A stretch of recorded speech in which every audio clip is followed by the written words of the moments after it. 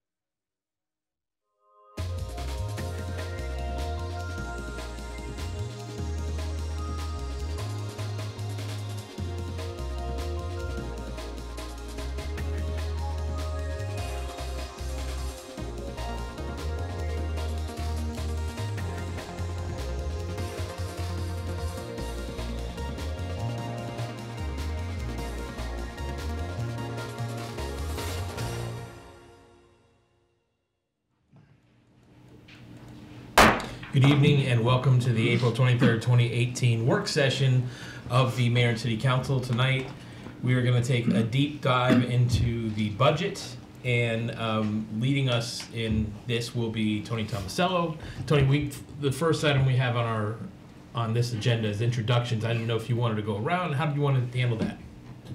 Um, I, I think people can introduce themselves when they come When up. When they come up, okay. Well then, um, because of the nature, the in-depth nature of this um, endeavor, um, traditionally we take comments from the public first at this work session, and um, and then dive into the budget. Um, I don't see any members of the public, but I will make the call anyway. If you know, perhaps somebody wants to say something that they wouldn't otherwise say. Um, does anybody, would anyone like to make any comments before we begin? It was a beautiful day today. Well done. Okay. Uh, that said, then I will just hand it over to Tony and let him take it away. Thank you, Mayor. Just a few minutes of, of introduction.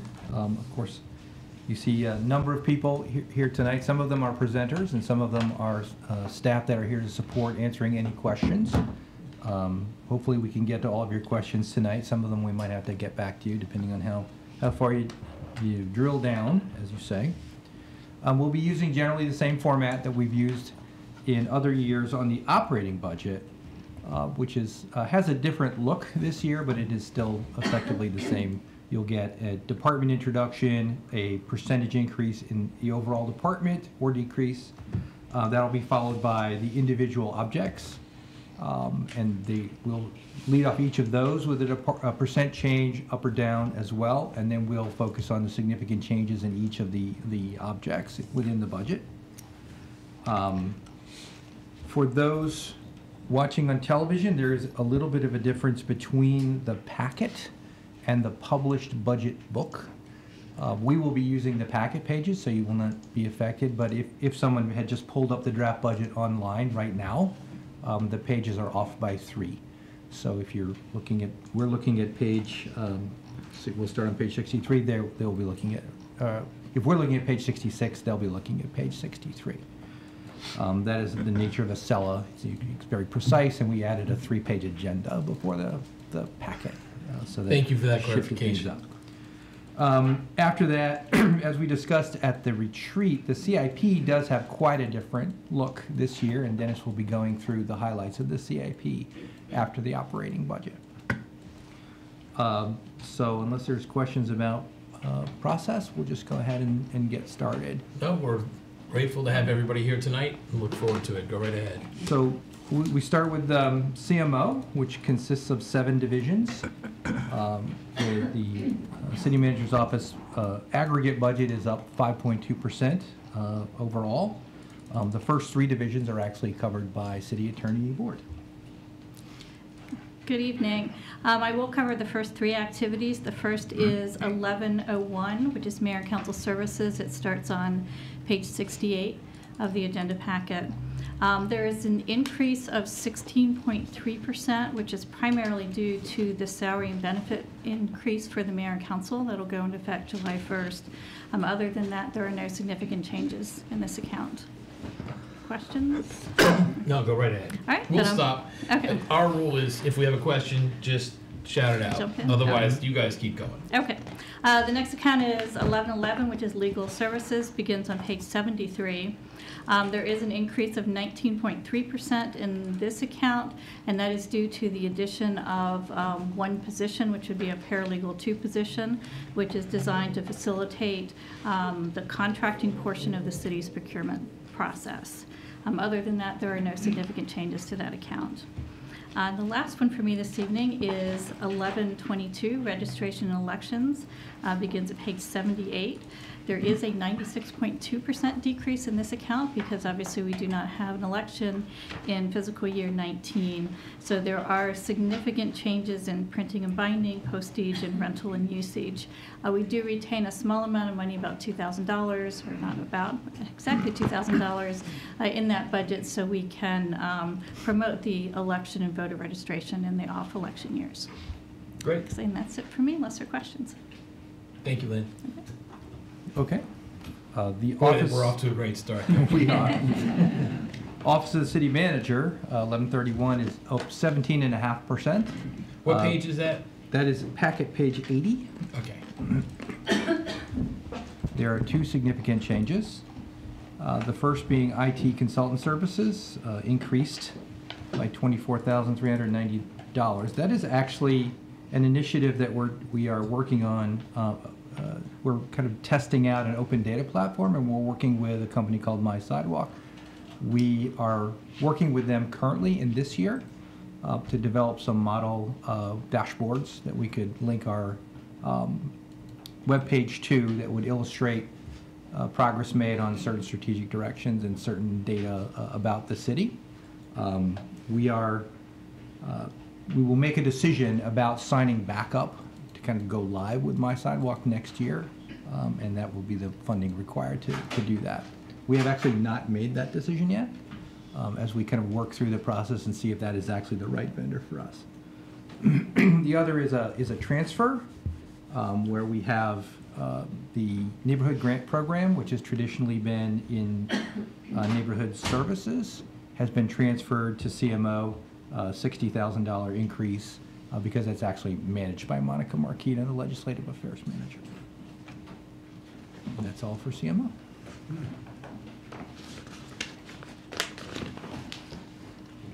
Next is economic development. Take it easy. You could come up there. Tom's not here. Kim, Kim just did the exact thing she was afraid she was going to do this morning when she was describing her fear about this presentation. It's not a big deal. Tom's not here. What page are on, Ironic. Uh, economic development, uh, which would start at packet Yep. page 86. Mhm. Uh, Tom apologizes, he's, he is not here this evening, but I can certainly cover for him. Um, The develop, the economic development budget is back down 11.9%. Uh, That is a decrease, all attributable to a a decrease in the economic development activities budget, which is a toolbox. Uh, The toolbox funding is sufficient to carry it for several years, probably, so we decided to decrease that uh, this year. Any questions on that? On packet page 90, we have environmental services. That, that budget is up 5.4%, and there are no significant changes within that budget. The budget going up five percent is due to just, uh, Mostly attributable to wages. The overall wage increase was 3.7%, and then there's some smaller increases in there, but none of them rose to the level of $5,000.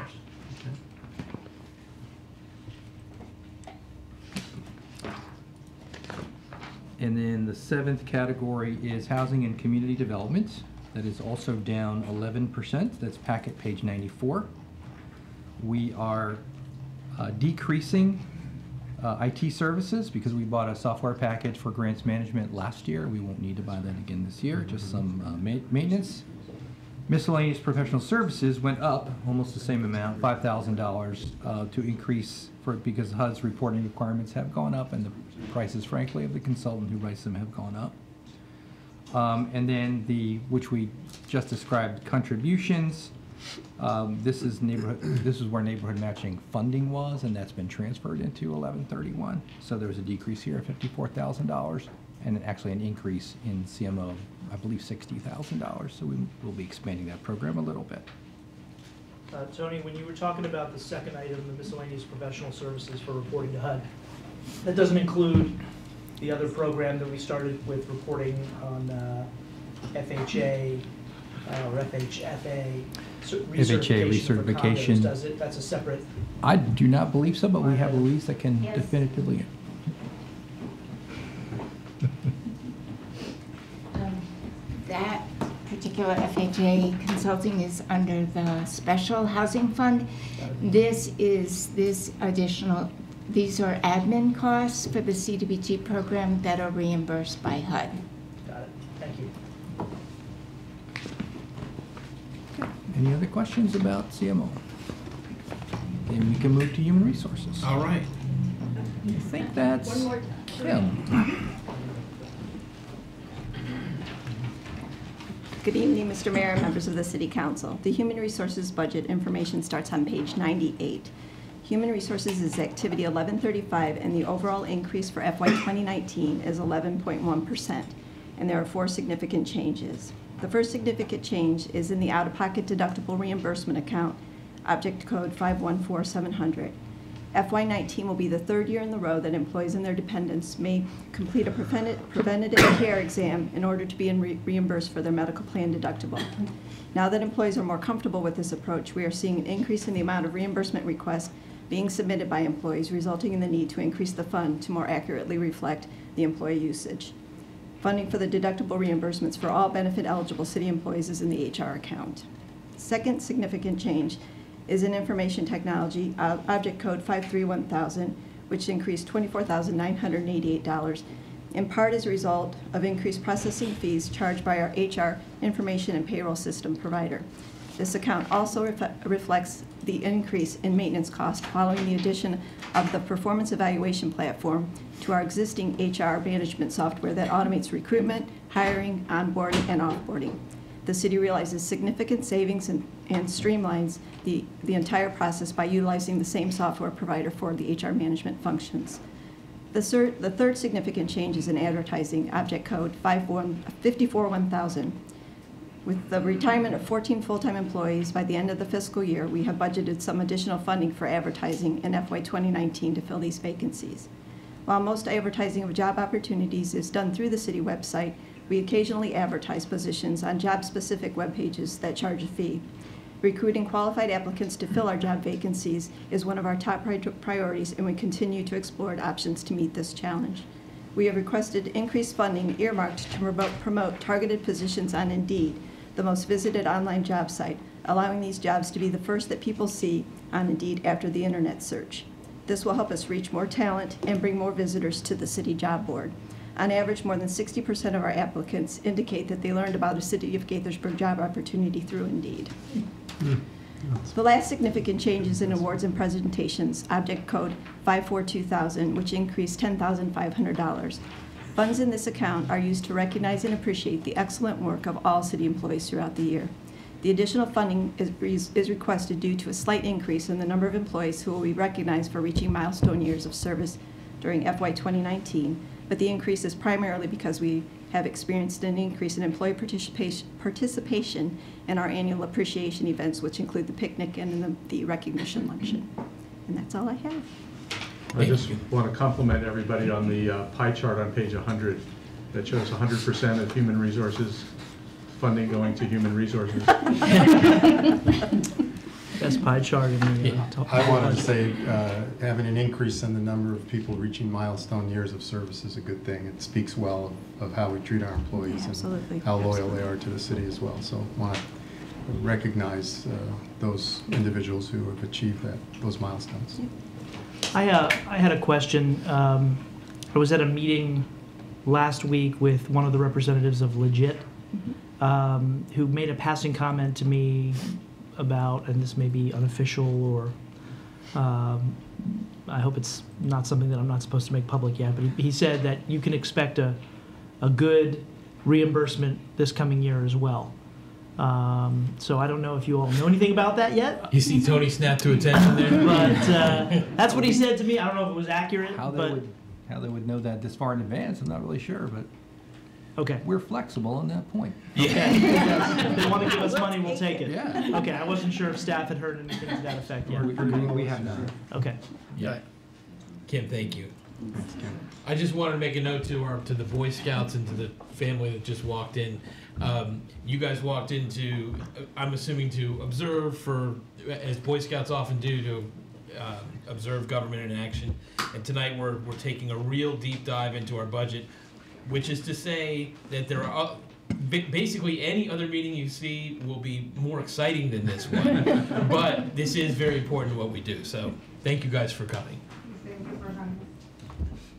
You picked a doozy of a meeting tonight. Okay.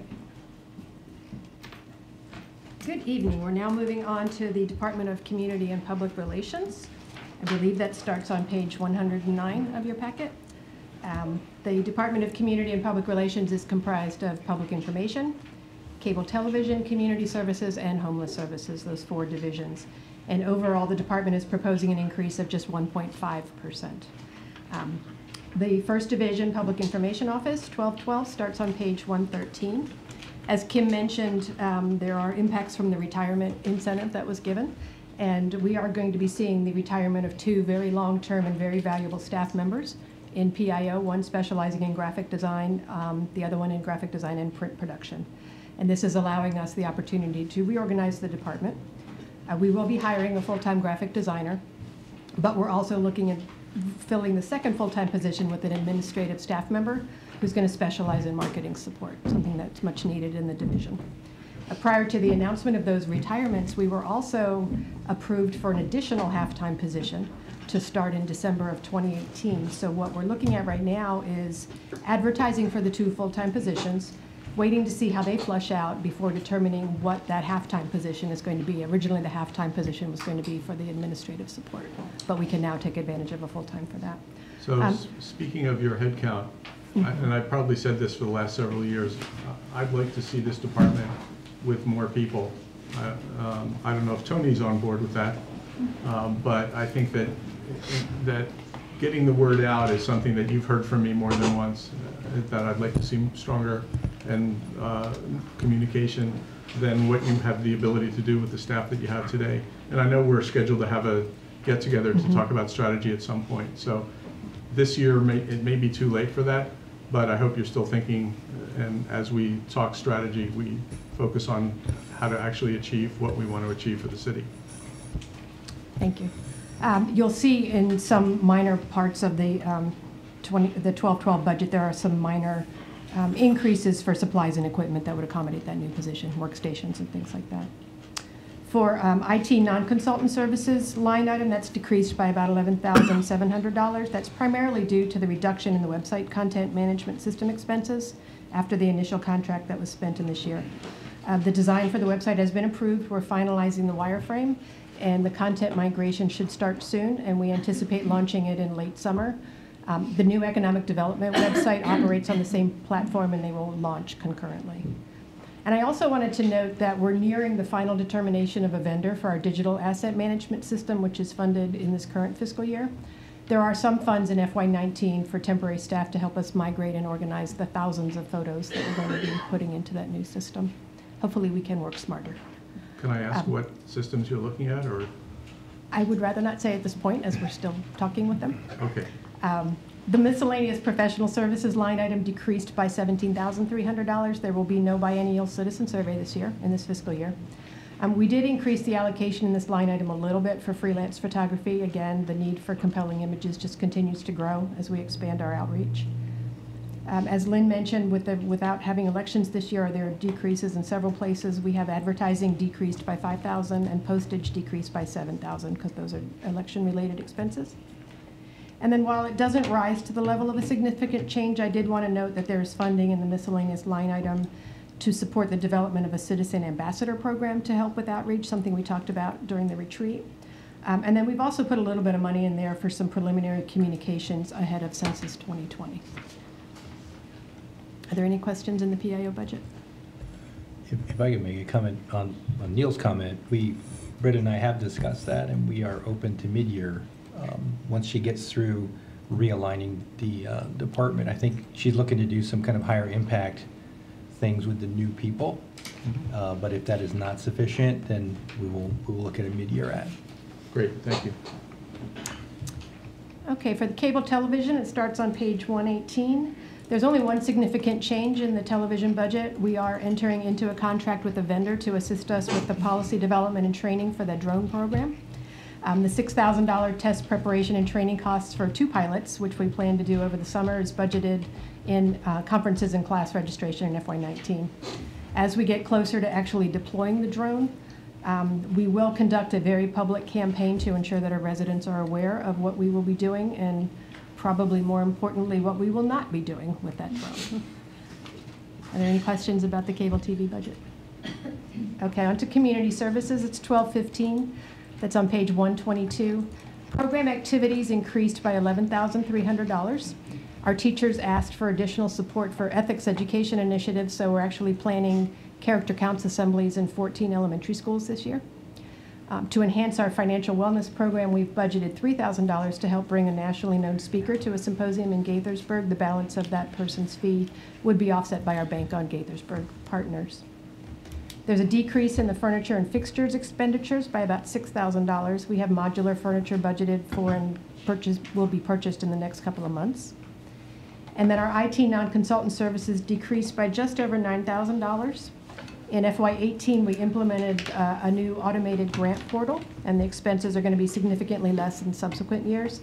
We're actually still in the midst of grant application reviews at this point, and our recommendations from the Community Advisory Committee and Educational Enrichment Committee will come before you in June. We do want to thank you for approving this expense in FY18. It is proving to be very helpful in streamlining the application process for our nonprofits and schools, and also for the reviewers. It's all now uh, quite automated. Then the contributions budget increased by a total of 20,150. This additional funding is primarily um, going to be used to support youth initiatives. So we looking, we're looking to increase funding for the Boer Parent Resource Center at Gaithersburg Elementary School. Then in FY19, we're allowing nonprofit school-based grants to be available for programs that operate in elementary and middle schools. Previously, they were only available to our high schools. We're also slightly expanding the scopes of services in the Housing Preservation and Transportation Grant and also the Financial Fitness Grant. Thank you. Hearing no questions, I'll move along. Homeless Services is the last one. It's on page 128. With the loss of HUD funding prior to the FY18 budget, we were asked to explore operational budget cuts. Within the professional, uh, miscellaneous professional line item in FY18, we decreased by about a third the amount that we set aside for a contract to guarantee placements for inpatient treatment from our street outreach efforts. Successful completion of inpatient treatment is a requisite for eventual placement at Wells and for many other programs for those in recovery. Unfortunately, with the reduction in that contract, we were unable to actually secure a contract for that amount, so we're operating without one. Uh, we will not be spending the money in the current fiscal year, and we've eliminated it completely from the FY19 proposed budget. That's a uh, reduction of about $14,000. Um, I think because of longstanding relationships with inpatient treatment providers and because of healthcare insurance options, um, Jimmy and his street outreach team have been able to secure placements for most of those in need without having that contract in place. And this reduction has not really impacted the occupancy at Wells. We did add funds within the miscellaneous professional services budget to cover regular bed bug monitoring. Fun topic. We are using the services of a canine who's appropriately named Sherlock. And every couple of months, he comes in to detect the presence of bed bugs before we have an infestation. Um, we have other protocols that have been put in place to help keep bed bugs from getting in as well. That's cool. A bed bug detecting dog. Yes, named Sherlock. And while we are no longer receiving federal funding for the Wells program, our staff continues to look for grant opportunities. We've expanded a contractual arrangement that we have with Montgomery County to provide case management, case management for residents living in permanent supportive housing in Gaithersburg. That's increasing that contract from about 19,500 to, it can go up to as much as 30,000 depending on the number of clients we take on. And additionally, we're increasing our occupancy revenue by about 4,000 this year. Their clients that are being admitted to Wells and those transitioning over to DeSellum are increasingly able to work. And those um, efforts in the, ar- our efforts in the area of vocational training are paying good dividends and helping them get employed. So we're seeing an increase in their ability to pay the occupancy fees. And then, as we discussed at the retreat back in February, an annual report of homeless service activities and outcome measures is going to be prepared at the end of this current fiscal year. And then, very soon, we're also going to be launching a bi-monthly homeless services newsletter. So you'll have a new e-newsletter that we can use to help tell the story of the important work that's being done by the city in the area of homeless assistance. I hear no questions. All right. Thank you very much, Britta. You're welcome.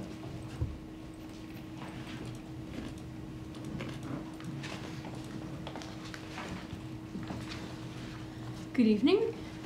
I'm Stephanie Walker. I am representing the Finance um, Department, and that begins on page 134 of the agenda packet. Um, This, this department is made up of three activities, the Finance and Administration, General Services, and Non-Departmental, and in total increased 4.5%. The Finance and Administration activity represents ex- uh, expenditures related to the operation of the Finance Department, and the budget line items for this can be found beginning on page 138. This activity increased 3.6%. And the only significant change was related to the software maintenance account, which increased due to the purchase of uh, new budget software. I would like to, at this point, um, pass along a huge, huge thank you to um, JJ, our budget analyst, who is here tonight, for all the work that he did during our, our implementation and, and project management, along with uh, a even bigger thank you to all the, the budget staff uh, throughout the city in all of the different departments who gave up their time, not just during the regular budget process, which is time consuming enough, uh, but during the off season in order to help us design the system, uh, go to training, and, and provide feedback. And um, I, I know it was probably um, a bigger lift than they necessarily wanted to, but I, I really appreciate it. Um, and we would not be where we are with it without all of their help and um, the little complaining, at, at least within my earshot. So uh, I appreciate all of it. Thank you. The uh, second activity is the general services, and that begins on page 143. This activity decreased uh, by point, 0.1 uh, percent or $78 and had no significant changes. The last activity within the department is actually the non-departmental uh, activity, and that begins on page 145. This had an overall increase of 4.5%, relating specifically to five significant changes. The first is our miscellaneous professional services account. This account is primarily made up of the city's contract for speed camera services. And the budget for this decreased uh, because that, that contract is a fixed fee uh, decreasing contract. And it expires in FY '21, so we can look forward to uh, decreasing expenditures in, in that line over the next two years. The next account, tax abatement account, increased by approximately 45,000 due to a new abatement agreement that came on online this past year. The transfers to our capital project fund in, uh, decreased by $391,200. This transfer amount fluctuates annually depending on our funding needs for our capital projects, where we are as far as pre-funding them, uh, as well as where we are for our, our spending. The transfer to our asset replacement fund increased by $180,785. We began budgeting for the asset replacement fund in 2000, in FY17. Um, the amount of this transfer is really based on an updating an asset inventory list of over 3,000 different assets um, from a number of different departments. And the increase in this transfer is due to changes in how we're estimating some of the replacement costs, as well as an additional 125,000 in funding for city vehicles as part of a catch-up provision due to some underfunding in, in prior years. The last significant change relates to our transfer to our other post-employment benefit trust, and that increased by 700,000 as part of a multi-year plan to bring the city closer to our fully funding our actuarial cost for this actu- this obligation. If I can say that. I make- Health insurance. I mean, Re- Retiree health. yeah, well, Retiree no, health it's not, no, no, no, I know, I know OPEB is, is retiree health, and health insurance, but it's just consistently, it's an item that always, it's go, it goes up from year to year. What, for current employees and for retired employees, it's going up. That's what's happening. It's happening everywhere, all Yeah. over the place. There's all Theor- kinds of public Theoretically, and with private. OPEB, if you, if you get enough in the trust, it- it's supposed to just throw off enough earnings to pay your expenses. That's gonna take a long time to do.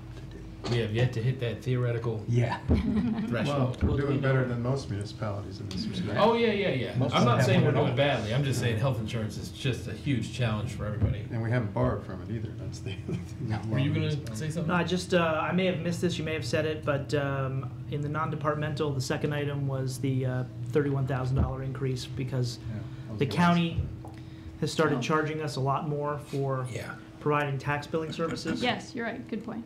And I just, you know, I wanted to make sure we mentioned that for the benefit of the public, that they know that the county, which they pay taxes to, is um, basically charging the city, which they pay taxes to, uh, a An lot more- artificial a lot- charge. A lot more money, basically, to take care of the piece of paper that they get once a year, That they were gonna print out anyway. that the county was gonna print out anyway, uh, to tell them what their property tax bill is, Well, so, this is the second year in a row with a pretty significant in- significant- increase in Yes. this line item. yeah.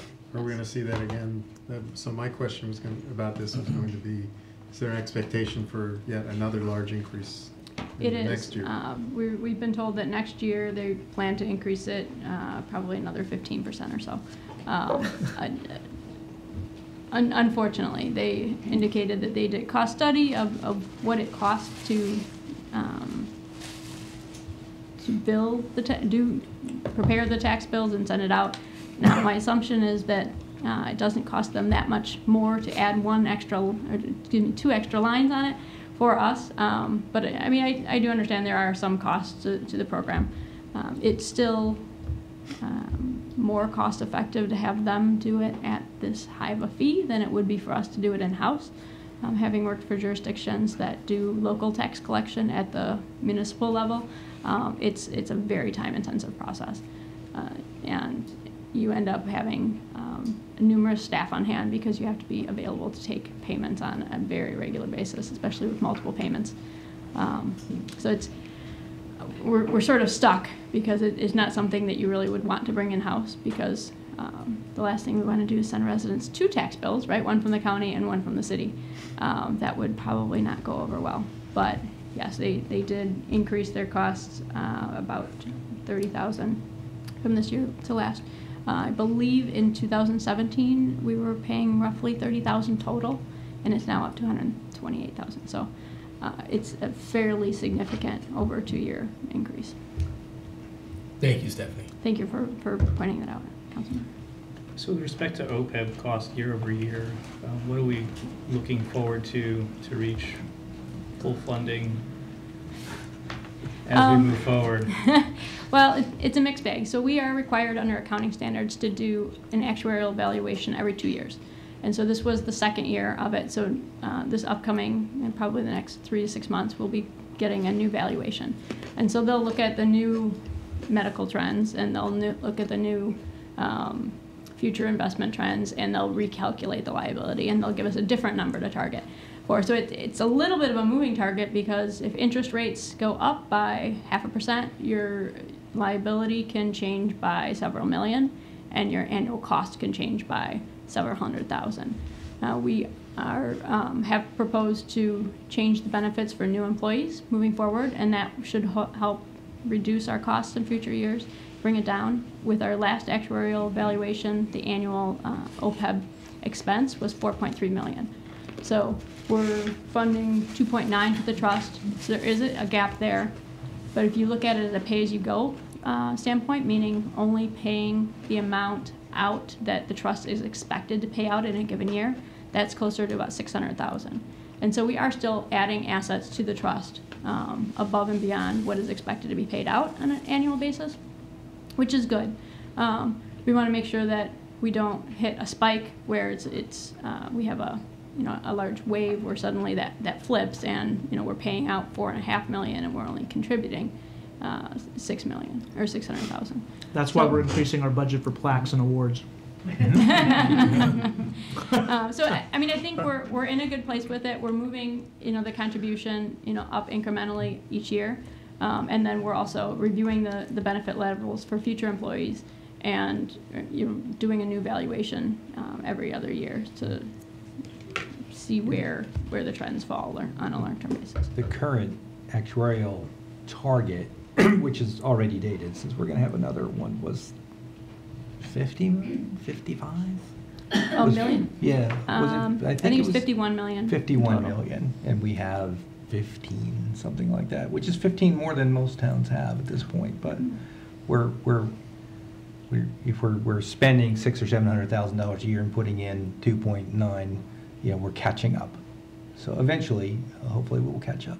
And when you combine that with the reduction in benefits for new employees, specifically spouses of new employees. So why would we need fifty million dollars in the ba, in the bank for this fund? Accounting The- standards. The fund is uh, supposed to throw off enough earnings to pay the benefit. When most towns just use pay-as-you-go to Sure. pay the benefit, um, but m- much like the GASB requirements that you maintain infrastructure, now you have to have a dedicated trust to pay for post-employment benefits. Paying it only out of earnings seems Uh, pretty extreme. So I mean, And our, and our benefit is fairly limited compared to counties and states. So Yeah. the liability really represents, um, if you think of it as, you know, someone has a, a twenty-year service life in employment, right, until they retire. Um, and you're in year ten.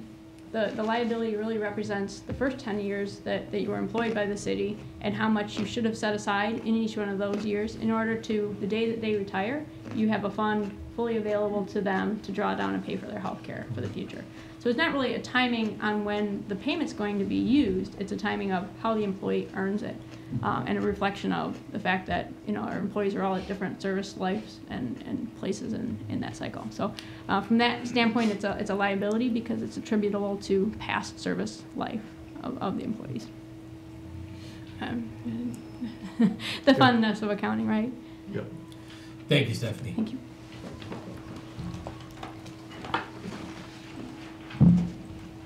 Welcome, Pete. Good evening. Peter Cottrell, representing the Information Technology Department. Excuse me. The Information Technology budget begins on page 150. And the IT department consists of two activities. 1145 is uh, Information Technology, and 1146 is Geographic Information Systems, more commonly known as GIS. As an aggregate, the IT budget is up 2.2% for FY19. Uh, IT 1145 budget is up 3%, and the uh, budget for 1146 GIS is down 2.5% for FY19. The proposed FY19 budget for information technology reflects the sustainment of an expanding and increasingly technical infrastructure with incremental increases for software services and for software and hardware maintenance. There are three significant changes for 1145 information technology in the proposed budget. 531,000 information technology services increased by $6,378, largely due to annual costs associated with the move to a hosted service for the city's intranet website and for costs for a proposed mobile device management solution. 531-600 software maintenance agreements increased by $8,715 due to incremental annual increases for various software packages as well as for increased costs for new security software and for increased data backup capacity. 573,000 repair and maintenance for machinery and equipment increased by $27,500 due to the need purchase ongoing hardware maintenance for the city's core network storage systems, whose initial three-year maintenance agreements will expire in early FY19. All right, can I ask a couple questions? Sure. You knew that was coming, right? Um, So, first of all, if I'm reading this right, on your consulting services where you increased by sixty-seven hundred dollars and including a mobile device management solution, is that what is saving us fifteen thousand at the Parks and Rec Department? Because they don't need a, a mobile technology of their own? Um, no, that is not. The Okay. two are unrelated. The Parks and Rec is, uh, had a dedicated, um, mobile application for their, uh, special events, and they've made the determination to, to not pay for that. The mobile device management solution is a piece of software that will help us, uh, manage mobile devices in terms of putting, uh, software releases onto them and maintaining the consistency of the devices. Okay, thank you. Uh, More, uh, a deeper question on the, uh, the need for uh, core disk storage units. Can you describe what that is all about? Is that something that you, you're doing storage in the cloud, or is this your backup system? This is our, our core storage system for the city. Uh, this houses our, all of our user files. It's also um, the central server that um, provides all the disk space for our virtualized server environment. Uh, there's two units. There's one here, and there's a replicated unit over at the Public Works facility. And uh, the virtual server environment we have runs off those um, and is able to, um, you know, if one unit goes down, automatically switch over to maintain the continuity of So services. is there any thought of taking this out to the cloud at some point? There is not at the current time. Um, Going to the cloud will certainly increase, uh, you know, the network traffic we have. Um, It'll probably end up costing more, we believe. Really? Because, I mean, cloud costs are coming down, have, have come down very dramatically over time. Well, I think it, it depends on how you look at it. I mean, if it, there's storage costs, but there's, can also be transactional, transactional costs associated with them. It's fine, I'll trust that you've done the homework on that. I was just a little surprised to see that we were still doing it on premise. All right, thanks. And, and I, you know, as I mentioned, uh, this system's been in place for three years, so, um, in the poss, in the future, we might look at something, but, uh, at this point, we have a, a on-premise solution. Yep. So are, s- are the IT systems protected from these, uh, what seems to be random and increasing ransomware attacks uh, and hacks of uh, various institutional systems? Uh, we believe they are. Um, we certainly put a lot of attention into maintaining the security of the systems. Uh, one of the uh, items I mentioned in their software maintenance agreements was increased costs for new security software. Uh, those are a couple of software modules that live on our firewall for um, uh, advanced malware protection and advanced threat protection. So we have software that's looking out for that sort of thing and intercepting a lot of that traffic. So the, uh, the replicated or the, the uh, duplicated image that we have on two different storage sites, um, they're separated enough so that one, if one gets, if one of those sites gets hacked, then the other one is going to be free from that, protected from that hack being uh, We believe infected? so. Yeah, okay. I mean, each case that happens, you'd have to Mhm. look at it individual to figure out what the threat vector is and, and what attack um, you're facing. But, yeah, the replication is certainly there as a, a mitigation um, towards any sort of um, malware. Guess we'll just have to wait and see. Well, not. as I say, we put a lot of time and, and effort into uh, maintaining the security of the systems and uh, hope we're not tested too much. Yeah, Let's hope. okay. Go ahead, Pete. Thank Okay. Uh, The primary focuses of the GIS division includes the support and data development for the Water Quality Protection Program, including ongoing improvements to the parcel boundary and impervious cover data sets, and in providing information to the public via maps and a growing number of web-based applications and services. There's one significant change listed for the 1146 GIS activity. 531500 software licenses decreased by $20,900 after a one-time purchase of additional GIS software licenses in FY18.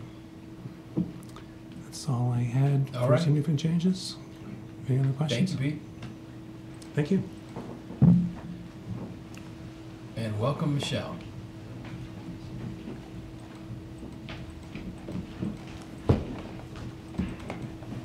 Good evening. I'm Michelle Potter, the Director of Parks, Recreation, and Culture. The department budget begins on page 166 and encompasses 20 accounts, 1411 through 1438. Our budget looks a little different than the others as staff completes program budgets for each program and event, then they roll up into the department budget. Overall, the department is proposed to increase by 2.9% in FY19. Parks, Recreation, and Administration begins on page 175 and is up 16.8%. The department successfully transitioned to ActiveNet, our new recreation management software system, in January. The project team will be evaluating and implementing additional features and capabilities in the near future. There are four significant changes. Accounting and audit increased $20,000 to reflect anticipated credit card processing and transaction fees. 51%, or an average of 11,000 of our registrations occur online annually.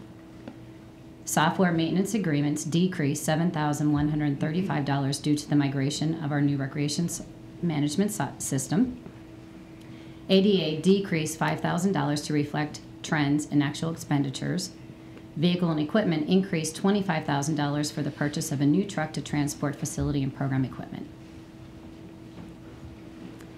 Recreation programs and sports begins on page 182 and is down 1.4%. General operating supplies decreased $12,270 to reflect the reduction in the cost of sports apparel. Staff conducted an internal inventory of equipment and supplementary purchases are not necessary in some areas. Our top three sports for participation include basketball, followed by youth and teen, sport, teen soccer, and volleyball. And we're also experiencing increased interest in tennis lessons, just so you know. Mm-hmm. Recreation classes starts on page 204 and is down 2.5%. Program activities decreased $7,000 because the dance recital is held every other year. Participant costumes will not need to be budgeted in FY19. This year's recital will be held on June 2nd at the auditorium at Gaithersburg High School at 7 p.m. Noteworthy is that we have over 4,000 people enrolled in our recreation classes, of which 73% are city residents. Youth Services budget begins on page 208 and is up 5.4%. There are no significant changes in this activity. Programs include the city participation in Montgomery County Soccer for Change program that provides a safe and productive out of school time activity for vulnerable youth while reinforcing the values of accountability, respect, teamwork, and trust. It also supports our after school programs that serve students from five elementary schools October through May and trips on non instructional days throughout the school year. Summer camps budget begins on page 214 and is up 7.2%. Can I, uh, uh, Michelle, can I just uh, Sure. in- interrupt you and go back to the uh, youth services? Sure. I'm just looking at, on the line items, what's the sort of more significant expenditures to account for the 5.4% increase? It looks like most of it is wages. Um, I see a line item for program activities for $4,000.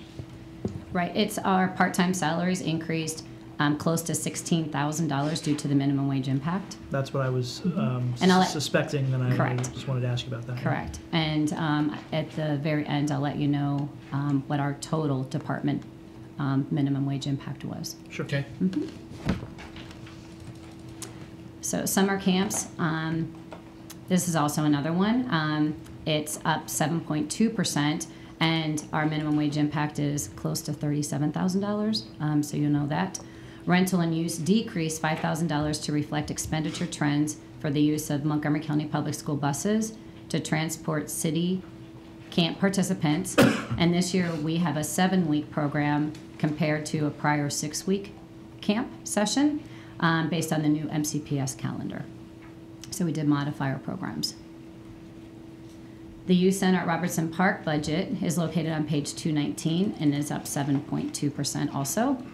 There are no significant changes in this activity, and participants from the center include students from Ridgeview and Lakelands Middle Schools. And this facility had nearly 11,000 membership scans in FY17, and the youth volunteered nearly 1,100 hours of community service.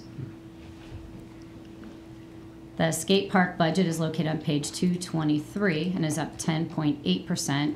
There are no significant changes in this activity. In FY17, we had approximately 3,200 visits and 130 participants in our lessons. Our department began working with economic development on a feasibility study for the site. Casey Community Center begins on page 223 and is up 2.7%. There are no significant changes in this activity. Staff is planning for expanded programming in FY19 to include family, game, and movie nights and seasonal themed events. With renovations to this facility, we saw an increase of 140 bookings in FY17 over FY16.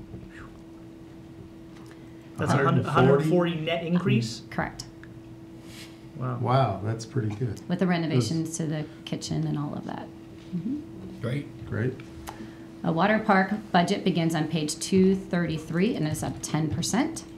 Furniture and equipment increased $25,000 to support replacing the aging emergency announcement system. The current public address system is the original equipment installed when the facility opened 28 years ago. This attraction averages close to 80,000 patrons annually from Memorial Day through Labor Day. Arts Barn starts on page 240 and is up 1.4%. There are no significant changes in this activity. Ticketfly, our online ticket service, continues to be very successful. We currently have more than 3,500 subscribers who have purchased tickets for one or more performances. We are now exploring the use of Ticketfly, which was recently bought out by Eventbrite, for other events and facilities. And the percentage of available tickets sold for the Arts Barns shows is 75%, which is excellent compared to the industry standard of 65%. The Old Town Youth Center budget is located on page 246 and is up a half a percent. There are no significant changes. The center, which serves students from Gaithersburg and Forest Oak Middle Schools, had record attendance in FY17 with nearly 20,000 membership scans, and the youth volunteered over 1,200 hours of community service. The Benjamin Gaither Center. Can I ask you about Sure. uh, the Old Town Youth Center?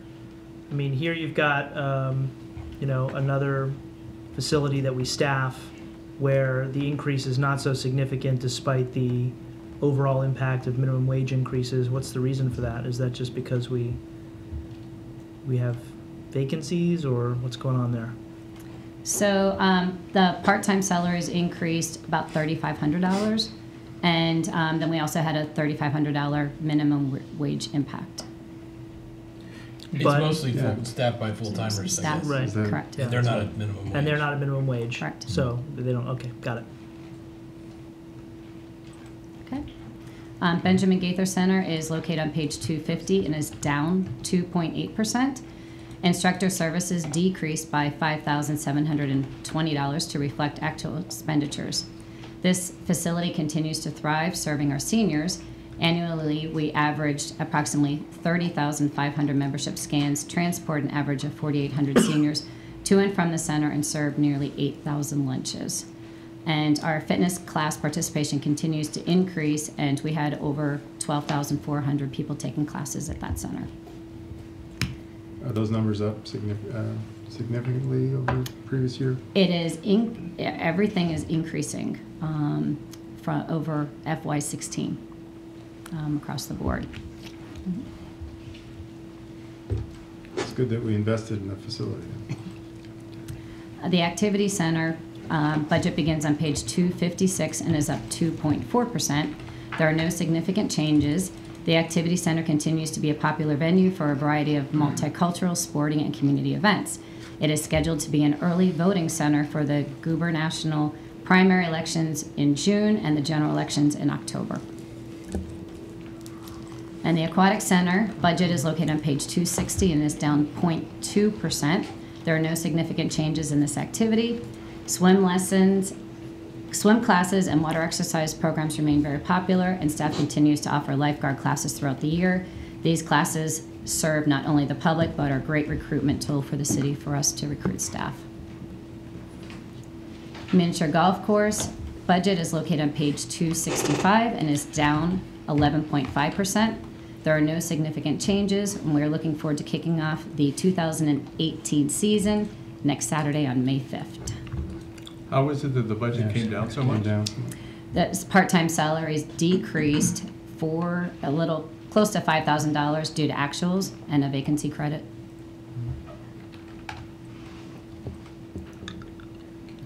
Okay, picnic pavilions, uh, budget is located on page 269 and is down 0.2%. There are no significant changes. Weekend time slots at Bohrer Park are filling fast. The main pavilions are at 75% capacity, and we expect the weekends to be completely booked by June 1st. I love the picnic pavilions. they are there's, it's such an easy element for us to maintain, and yet they just people just use them and rent them out and rent them out. They're just great. Mm-hmm. Well, it's because With we have- little expense. Mm-hmm. Yeah, It's because we have such nice park facilities that they want to. absolutely. Go ahead, Michelle. Winter Lights budget begins on page 271 and is down 15.8%. Miscellaneous professional services is decreasing $47,200 due to electrical infrastructure upgrades that will occur in FY18. These improvements will facilitate better set, better display setup, resulting in a reduction in the work hours of DPW. That's a pretty significant savings. Correct. Yep. Okay, special events budget is located on page 275 and is up 1.7%. This account supports our four signature events, Summerfest, Oktoberfest, the Winter Lights Festival, Oops. and the Book Festival, which is coming up quickly on May 19th, in addition to all of our 120 community events. We are pleased that we have nearly 2,000 hours of volunteer hours to support our efforts. There are two significant changes. Software maintenance agreements decreased $14,175 as we're eliminated, eliminating the mobile app and migrating this customer service to the city's new website. So that's what you were asking about earlier. Mm-hmm. And miscellaneous professional services is increasing $7,960 to set aside funding for the commemoration of the 10th annual Gaithersburg Book Festival. So there'll no longer be an events mobile app Correct, because the, the So- city's new website will have a, will operate like the mobile app did, where we'll be able to um, update real-time information um, for bands and um, food vendors and different things like that that the mobile app did. The museum budget begins on page 285 and is up 9.8%. There are no significant changes. Staff is developing programs and events for the newly renovated Old Town Plaza. In addition, we look forward to working on the soon-to-be reconfigured rolling stock. The new plaza will be utilized during Heritage Days in June, and staff is planning a STEM activity related to water in July. Staff is working with local businesses, and a representative from the Maryland State Wineries is scheduling a visit to see if the site could be used for a wine tasting event. And Is the, uh, is the, again, the, um, the nine point eight percent on the slightly higher side, is that also again because of minimum wage or something else? Part-time salaries decreased. Let me look real quick. So, I see health insurance, I see full-time wages. You're just sitting there with the Boy Scouts. Fourteen thirty-seven. I believe someone had previously taken the RHS and now we're So, um, health insurance, Switch from. say, thank you. So it's on the personnel side. Got it, okay, thank you. Michelle, can I ask a question? On page 278, it talks about sponsorship coordinator, uh, line item cost 29,870. Um, I don't necessarily need an answer now, but if you could follow up with the- the rate of return on that. Are we seeing significant um, sponsorship revenue coming in for that, or? We are. So, um, the, the last report that we had, I actually have a handout for that.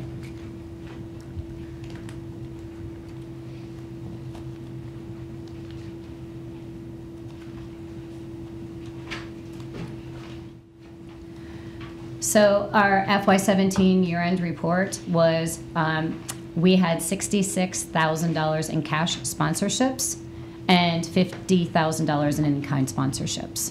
So that, There's probably actually more in kind that's just not reported anymore. But I did, following up on Rob's question, um, I heard that our sponsorship coordinator is not going to be there for long. Like she's she's moving across the country. Correct. Um, so I'm assuming that we're going to find somebody else to fill this role. We're going into discussions with the city manager Okay. shortly to, I to discuss what our more- options are. I I think there's more least. opportunity than than I think there's opportunity to grow what that coordinator brings in. The, the, cour- the, the effort will continue. Yeah. Depending on whether it- it's this part-timer or whether it, it, this part-time job could be combined with other part-time jobs that would take it over. But at the end of the day, the effort will continue.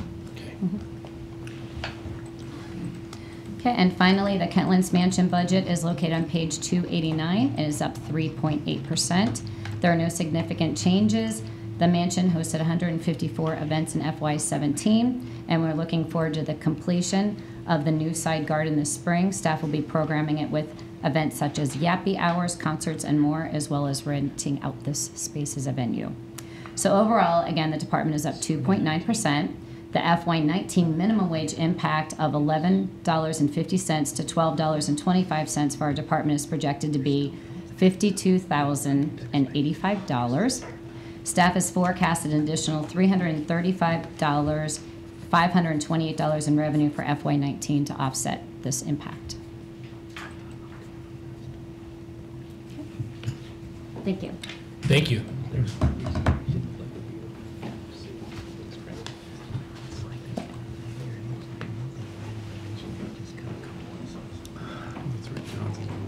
Yeah. Welcome, Kevin. Good evening, Mayor and Council. I'm uh, sitting in for Director Schlichting tonight, who is attending the American Planning Association Conference in New Orleans. Um, The Planning and Code budget begins on page 294. The Planning Department is comprised of five divisions, including Administration, Planning, Permits and Inspections, Neighborhood Services, and Animal Control. The FY19 proposed departmental uh, budget is up 4.6% from FY18. Uh, Moving on to the activities, uh, in um, activity uh, 1192, which is administration, on page 299. uh, It, administration is up 4.1% with a slight increase in part-time hours to adequate- adequately staff the front counter at City Hall. On page 304 is activity 1194, which is planning. Planning is up 2.5% with two significant changes. One is the decrease of $20,000 in engineering and architecture consulting fees, as we were encouraged to remove funding for these services and provide them in-house instead. Uh, The other increase is, an- the other is an increase in our travel budget of $6,450 to allow for more staff to attend professional conferences. On page 309, uh, it's activity 1196, which is permits and inspections. It is up 2.3% with two significant changes. One is a decrease of 34,000 in vehicles since we won't be purchasing one in FY19 as we did in FY18. Uh, The other is an increase of $9,310 in conference registrations for added certification requirements. And then on page 314, it's activity 1197, which is neighborhood services. It is up 15.9% with one significant change, an increase of $30,000 in vehicles for the anticipated addition of one full-time code administration officer that will help with our serve, to help serve our growing city. Um, On page 319, activity 1198, animal control is down 3.1%.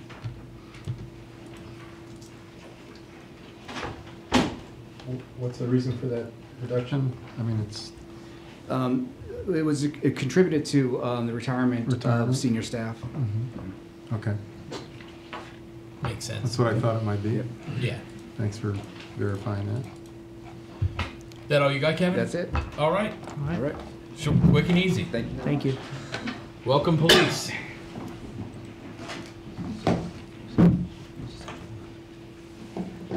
Good evening, Mayor and Council. Mark Sroka, Chief of Police.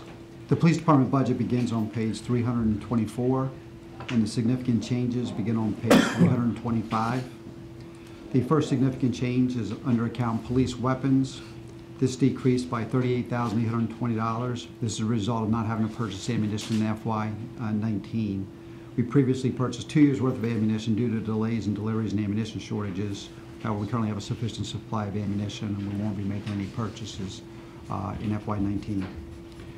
Under account software licenses, the increase of $6,200 is primarily due to the purchase of additional software for our FileOnQ system, which will assist us in tracking quartermaster supplies Also, that increase is due in part at least for $700 is for the software licenses for the two new cadet positions. The third item, under account software maintenance agreements, this decreased by $14,971 as a result of the elimination of three software maintenance agreements that are no no longer uh, needed. The crime analyst identified software um, that me- better meets our needs, making the previous software obsolete. Under account miscellaneous professional services, the increase of $9,808 is primarily due to the promotional process consultant fee to administer the corporal and sergeant promotional process in FY uh, '19. Under account conference seminar and class registration, this increased by $9,870 is primarily due to 10,000 being budgeted for new officer academy entry-level training. Under account police forfeiture expenditures, um, there was an increase of $5,000 due due to a projected use uh, of police forfeiture funds of $10,000 based on prior, the prior year uh, usage. The, under account primary, uh, under the account uh, repair and maintenance machinery and equipment, this decreased by $17,000 $17,345 uh, due to the mobile data computer maintenance funds um, decreasing by 14,000 and elimination of the in-car wireless maintenance uh, funding. Um, Under account vehicles and motor vehicle equipment, uh, this decreased by 19,500 because in FY18, we purchased a second parking enforcement vehicle. We will not be purchasing any parking enforcement vehicles in FY19. On page 326, in the chart labeled Police Department Budget Summary, under the column FY19 Proposed Budget, it shows that personnel costs are $8,685,781, or 92.2% of the department's uh, budget, with operating expenses totaling totaling $734,693, or 7.8% of the department's budget, which equates to the proposed budget of $9,420,474. The total proposed budget in FY19 is a $210,389 increase compared to the FY18 adopted budget. How- How did we uh, save almost 5% on operating? We went through each um, line item budget, a big part of that, um, and we reduced costs where we could, but the big reduction happened, had to do with the ammunition that we didn't have to purchase. Question about uh, the line item for police forfeiture expenditures. Mm-hmm. Um, Chief, you said that the, there was an increase of five thousand due to projected uh, use of the funds of ten thousand. Yes. Uh, based on last year's expenditures as historical data. This isn't the actual money that comes in from forfeitures, right? This is the budgeted amount used to handle forfeitures and, and process them. This is the, it's in our um, forfeiture account. The, the money is initially seized. Okay. We go through forfeiture proceedings, and then that's turned over to the city and s- and remains in a separate account from the general fund in a forfeiture account. Yeah, so it's an And- account that rolls over from year to year, and you It does. budget how much you think you're going to need from it each year. Based on prior year's usage. Got it. Okay.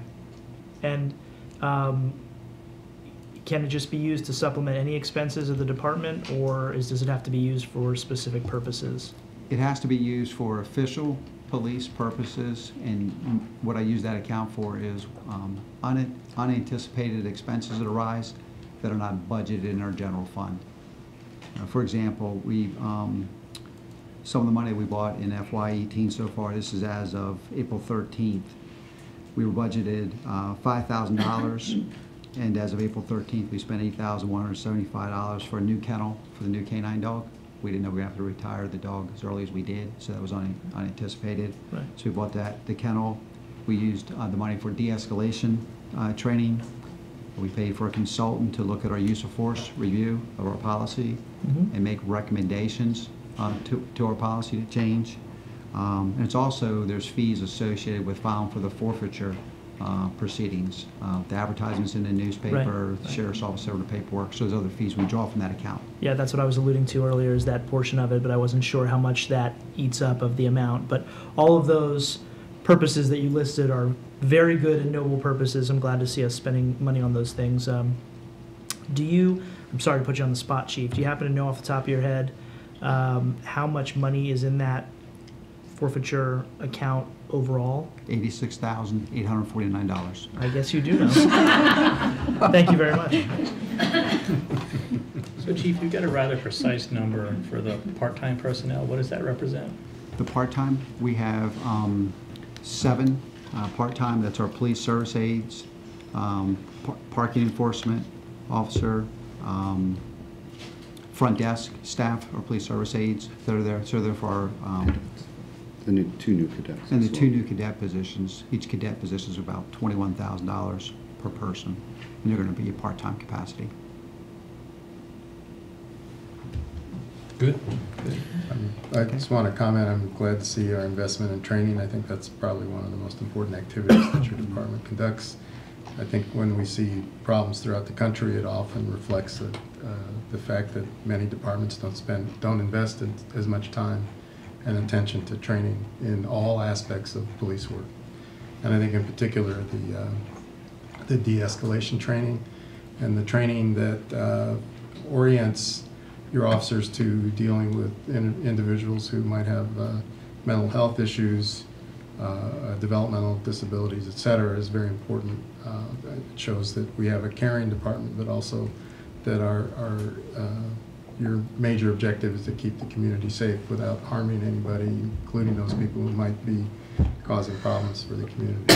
Yeah, in every uh, police citizen encounter, we strive to resolve it peacefully without having to use force. However, in some situations, um, force is essential to accomplish uh, law enforcement objectives. However, we want to do it in such a way that we're using the minimal amount of force necessary to overcome the resistance offer, being offered, the resistance being offered to the officer in an effort for the officer not to get hurt, but also not to hurt the citizen. Thank you both. Thank you. Thank you. Next, Public Works.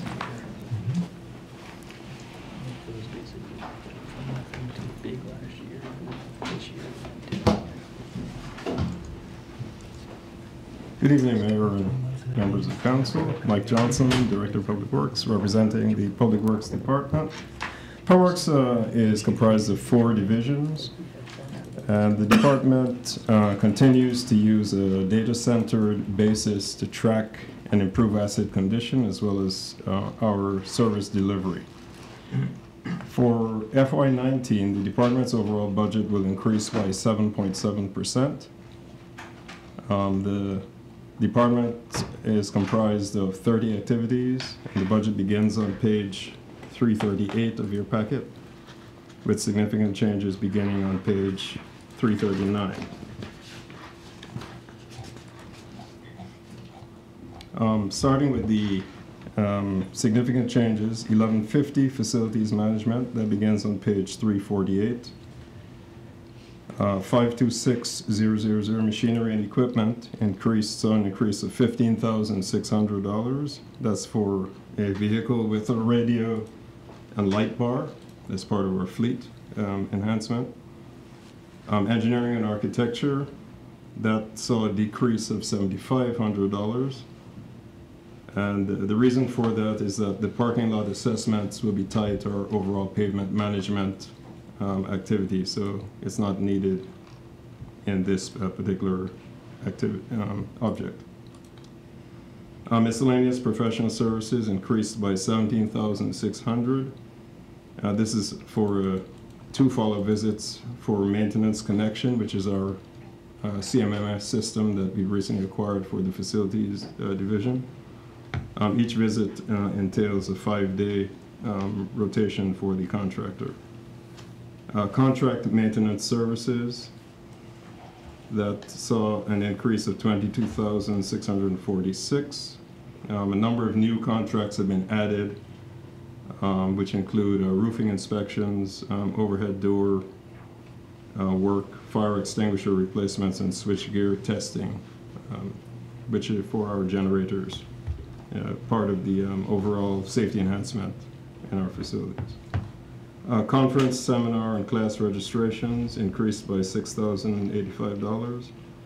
And that's uh, to account for the uh, requested additional FTE uh, training. We- have a great commitment to keeping our staff trained. Um, The work that they do is increasingly complex complex and regulatory in nature. And um, this is a solid investment to keep staff, you know, on the cutting edge. Uh, Gasoline expense uh, increased by $6,125. Um, The actuals from fiscal year 17 were um, almost 10,000. Um, So it's based on uh, taking a look at the historical expenditures and trying to harmonize the cost. Um, Buildings and facilities increased by 306,500. And for these, we have um, additional service contracts for painting, carpet, flooring, maintenance of, general maintenance of building equipments and roofing. Um, R and M, machinery and equipment increased by 55,000. And that account um, increased as the budget for several small pieces of equipment were moved from the CIP into the operating budget. Uh, Machinery and equipment, um, this is uh, uh, attached to the new hire um, for a new bulk fuel trailer for filling generators. The staff person would be responsible for keeping the generators topped up and ready in the event of, um, that they're needed. Uh, Vehicles, motor equipment, I'm sorry, I covered that. Um, The, the next item is 1151, Buildings and Grounds, City Hall, and that begins on page 356. Um, Electric saw a reduction of $10,000, and that's just a a rebalancing based on historical usage. Uh, 1153, Buildings and Grounds Public Service Facility, and that's really the Public Works uh, facility, uh, begins on page 360. Um, Solid waste and recycling saw an increase of 95, 90 96, $9,596. And that's an increase in service based on the demand um, at, of the facility and the lack of uh, space to provide um, additional containers other than carts. Buildings and facilities, um, that's uh, saw an, a decrease of $10,000, and that's again a rebalancing of R&M funds based on historical usage and um, expenditure of money. 1158, Kentlands Mansion begins on page 364, and that saw an increase of $5,781. The contract maintenance services, uh, that increased um, due to three new contracts for window washing at the second and third story windows. Um, Water treatment was uh, typically, was previously paid out of the R and M um, line um, R&M buildings and facilities saw a decrease of $15,000, and that's uh, last year we had, last fiscal year we had a, a, a, project to repoint the chimney. That was removed, so it was a one-time expense, so that accounts for that um, change. 1160, the Casey Community Center begins on page 368, and um, water saw an increase of $5,800. Additional water is, um, is being used due to the kitchen and dishwasher being used more after renovation, and that's sort of what, um, Michelle, uh, meant, alluded to with the increased, um, uh, programming of that space, programming use of that space. Um, the R and M, buildings and facilities, uh, that project, um, last year we did an LED upgrade for interior and parking lot lights. That's no longer needed, so that's been reduced by that amount. Eleven sixty-one, buildings and grounds, Old Town Pavilion, that begins on page three seventy. Uh, we, buildings and facilities saw a decrease of eight thousand dollars. Um, last year, an LED project was, um, completed on the bandstand. And, you know, that's, that's, the, the cost has just been brought down to what it's more likely to be this year, minus that special project. Eleven sixty-two, buildings and grounds, um, the public safety facility. That begins on page three seventy-two. Um, electric saw an increase of twelve thousand dollars. Um, The two-year average um, has shown, showed that uh, this figure was under budgeted. So it's just a, you know, a a correction to bring us in line with likely expenditures, what we feel are more likely expenditures. R and M buildings and facilities, again, um, they're based on two-year average. The uh, building of the building uh, maintenance, the, the building will undergo a major renovation and R and M costs are expected to go down by the five thousand dollars. Eleven sixty-four, Buildings and Grounds, Gaithersburg Aquatic Center, beginning on page three seventy-four. The contract maintenance services increased by fifteen thousand and that's due to increase of um, money to support uh, the pool maintenance service contracts. Uh, R and M buildings and facilities, uh, again, a, a reduction of sixty-two hundred dollars, and that's a removal of the one-time LED light upgrade that was performed in, in fiscal year eighteen.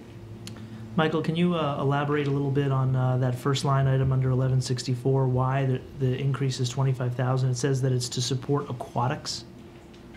Does, I don't know. Is that It's that the- programming or is that something else? It's the, not, not programming, it's um, service contracts for the pool. The, the approach that is being taken is to allow the uh, facility manager who um, is a PMP, uh, he has gone through the PMP training, to sort of take some more ownership of many of the projects that are um, going on at this facility. So we're using service contracts to do that. Okay, thanks. You're welcome. Um, 1165, uh, the activity center begins on page 376. Um, the water um, charge is um, increased by $8,500.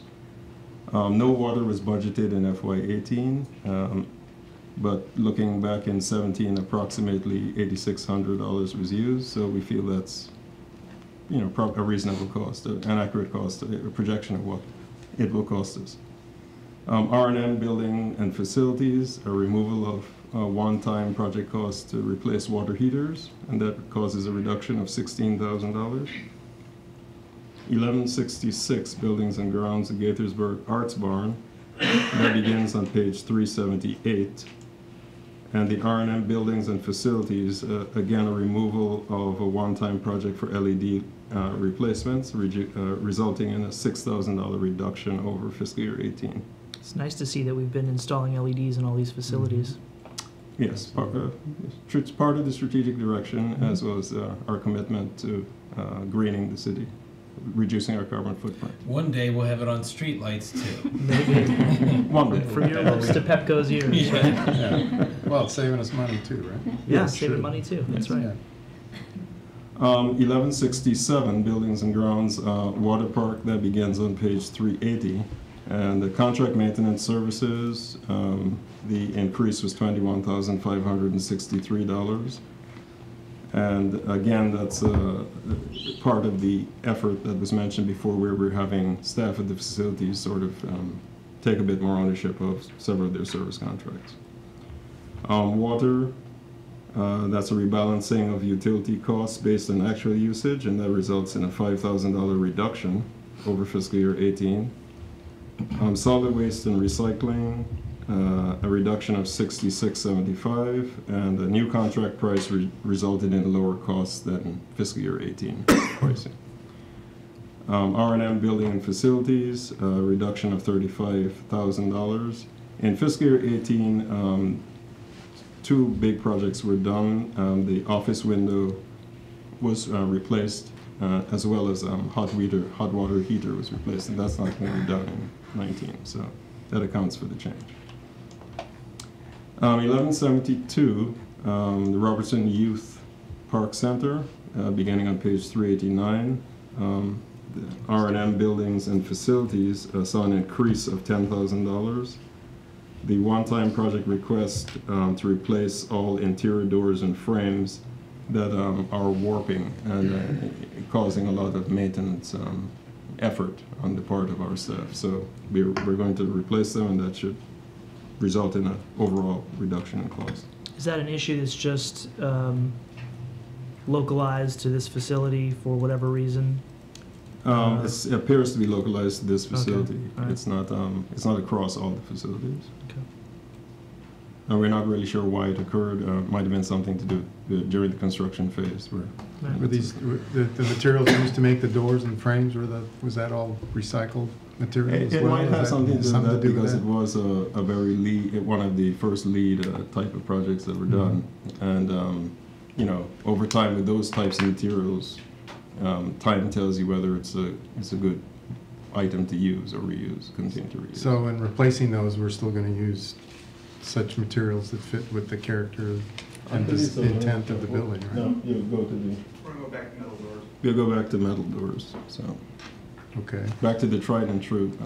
Well, as long as we don't lose our LEED rating, I think that's the key, right? So. It's already expired. How do we get it back? Um, 1173, uh, Gaithersburg CPSC Park site, beginning on page 391. Um, electric cost reduced by $5,000, and that's again a, a balancing of utility costs based on actual usage. Um, 1175, the parking facility, the Old Town parking facility, beginning on page 393. Uh, Contract cleaning increased by 11,082. Uh, This facility um, has very heavy wear and tear, and uh, this is an effort to increase the daily cleaning from four hours to six hours per day, uh, for the five days a week.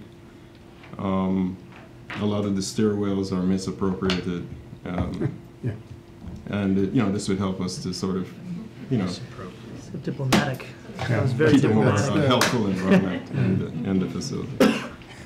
Um, R and M buildings and facilities, the one-time, uh, projects was, was removed, and that's, uh, reduced, a, a reduction of twenty-five thousand dollars. Um, thirteen twelve, streets and special projects, beginning on page four hundred.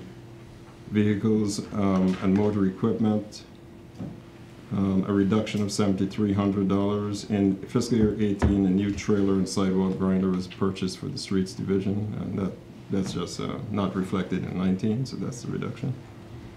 Thirteen forty-one, landscaping and forestry. Vehicles and motor equipment, uh, increased by fifty-five thousand five hundred, and that's for the purchase of a three-quarter ton pickup with plow and salter. Uh, this unit would help to transport landscaping crews as part of our future planning for plowing of our crown, which will, which street, those streets will be coming on, online, um, soon. So, Michael, on this category, there was a pretty significant jump in wages in personnel services and full-time employee wages. Is that attributable to minimum wage issues, or is there something else going on? Uh, it's uh, attributable to a an FTE that was requested. As we are taking on Crown, we have to plan for additional bodies to, to deal with landscaping Okay. and plowing. When, when does our responsibility to the streets and the crown development kick in? We don't have a date yet. It's, it's predicated on the developers uh, turning us, turning, we have a protocol for turning a street over. Right. And when they, when they've satisfied that, we would then um, accept the street. Okay. So none of the streets in Crown, public streets in Crown have been turned over yet? Not yet. They're not, they're not public yet, They're not public yet. They're all Yeah. Um, thirteen forty-two, um, city stormwater, um, beginning on page four twelve. Uh, contract maintenance services, uh, a reduction of forty-five thousand dollars. Um, the sand, the sand filter at the public works yard, which is part of our industrial permit, and filters water from the yard before it is discharged to the surface water body, um, has experienced um, corrosion of the um, conveyance pipe, the exit pipe.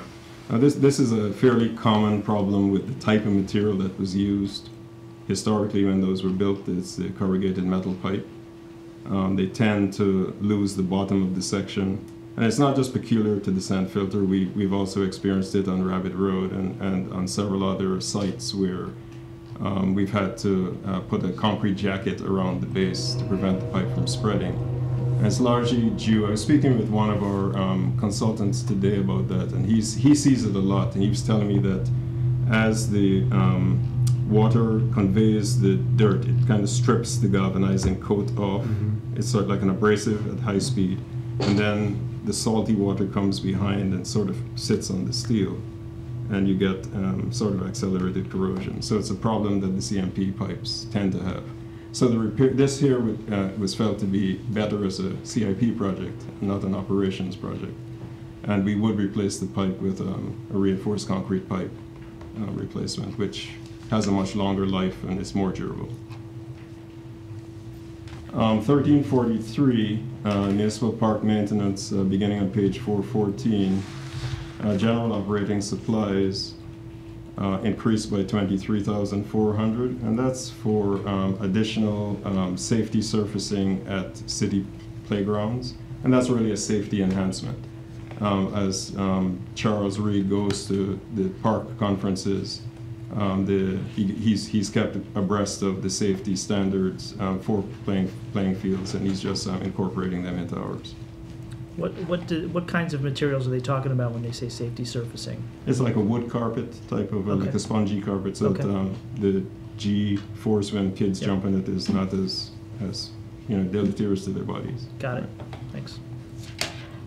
Um, vehicle motor equipment, uh, reduction of a one-time purchase for a ball field machine and bat wing mower, and that reduced in a reduction, that resulted in a reduction of thirty-eight thousand dollars.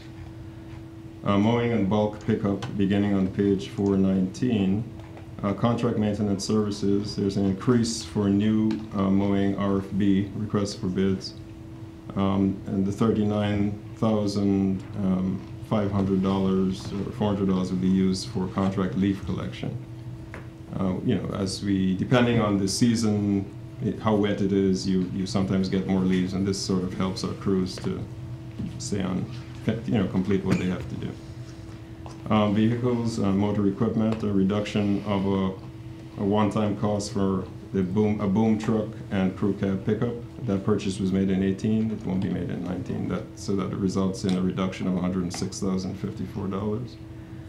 Uh, recycling, thirteen forty-five, recycling, beginning on page four. Mike, can I, uh, can I just throw in a reminder here? I think uh, relative to bulk pickup, uh, within the coming year, we'll probably be coming to you with some, just some concepts, proposals, what do you call that, to, to modify the bulk pickup program to be a little bit more random um, and a little more efficient. Um, We're not sure what those things might be, but just as a reminder, that'll, that'll be part of this year's work plan. Great. Okay. That is one of our most uh, Absolutely. popular uh, services, actually. They very popular service, and, and um, it's popular with a lot of non-residents too, unfortunately. Yeah, And so that's, that's the thing we really want. That's the downside. Yeah. Um, okay, thirteen forty-five recycling, uh, beginning on page four twenty-three. Um, that, that res- uh, saw an increase of forty-one thousand five hundred dollars, and that's based on the increase in the contract price, based on a CPIU adjustment of two point one percent, um, to the, the, the rate. Um, thirteen fifty-one, engineering services, beginning on page four twenty-five. Um, engineering and architecture saw a reduction of five thousand dollars. Um, the inspection cost of the pedestrian bridge at Bloom Park, um, budget which has been performed in fiscal year eighteen is removed. Um, won't be needed in nineteen. And, uh, the vehicle and motor equipment, um, a vehicle was purchased for our new right-of-way inspector position, which was added in fiscal year eighteen. We have no additional, um, expenses associated with vehicular purchases for nineteen. So, Michael, again, in this category, there's a pretty significant jump in full-time wages. Is that due to additional FTEs or? That's an additional FTE. We, are are- we propose to, to hire a um, project manager for the engineering, additional project manager for engineering services. Okay. Does Crown Castle know we have a right-of-way inspector now? I'm sure they'll find out. Okay. Um, thirteen ninety-three, street lighting, and that begins on page four twenty-nine. And, um, electric, uh, saw an increase of fifty thousand dollars. And that's just the the usual CPIU, um, escalation of electricity charges. Um, R and M machinery and equipment, um, the contract, um, has to be rebid. This contract, um, which is currently, on the street, was last bid in two thousand and five. And based on recent, um, expenditures or historical expenditures, um, we project that the, um, likely expenditure will be about eighty thousand dollars. For FY19. So that result, results in an $8,000 increase. Uh, 1397, traffic control, beginning on page 431, general operating supplies. And uh, that increased by $14,000, and that's for a new sign and street name uh, blanks and thermoplastic and stop bars. Uh, and thermoplastic for stop bars and crosswalks. And those are the significant changes. Um, Were there any questions on anything? So Mike, on thirteen forty-three, you've got a line item for goose abatement. Um, How do we abate those gooses? Gooses? How do you- Geese. Geese. Geese. Pieces. Um, there's a dog actually that is used. He's, he's not Sherlock. I, I don't know what name. But, uh, Chases them all. he- He's brought. He's a specialist in chasing um, the, the geese and sort of chasing job? them off. And that's what it's used to. We employ several interesting dogs. That's really nice. It's a different one than for the bed bugs. It's a Yes. That's what he said. It's not, Different it's not, skill it's not sure. Very specialized. then. It's Watson, uh, Watson. Um, I had a couple of questions. First, We'll um, get to you next. oh, I'm sorry, were you done? He wasn't quite done. You can Go ahead, back. You finish. Go ahead, please. Thank you.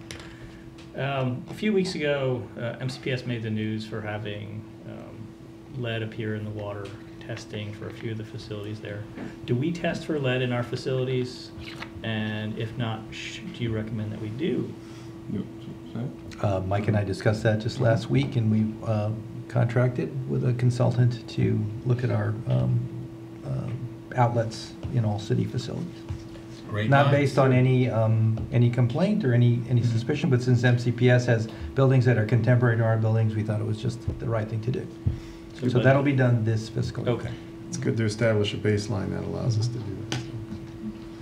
Was that all you had, Rob? Rob, No. Did you have more or no? Um, yeah. Stay focused. There's no more geese. Sorry. Gooses. I- I just wanted to quickly um, follow up on like the, the- the two asks I had last year. One was um, for looking at our processes for um, improvements, particularly in the green methodology in which we do stuff. Um, You'd mentioned the LED lighting replacement and the green commitment, so that's great. The other ask that I had was um, my support for training for our, our, particularly within your department, for um, folks to go out there and learn the, the, the latest and the newest in um, green methodologies as well. So I was wondering if, how that's going. It's going uh, quite well. Um, The the department has uh, in- and does invest quite a bit in um, staff training, on not only of the professional staff, but also our line staff. And uh, the ultimate goal being that um, the regulations are complex and are are changing. They're, like, for instance, some of the newer ones, like green, um, green technologies, they they are evolving. So we encourage staff to go to conferences and you know, people, folks from stormwater, staff from storm, stormwater do go, as well as um, uh, some of the other divisions um, attend those as well. And we, we have a real, uh, very strong commitment to uh, staff training uh, throughout the entire length and breadth of the organization. Okay. Thank you. And I just want to emphasize that's, that's an ongoing, uh, you know, ongoingly important to me. So to the extent that you will look at new innovations in the future, new methodologies, costs for those new methodologies, I'd be supportive of that. Okay, thank you. Thank you, Mr. Mayor. Right. I'm back. I'm focused.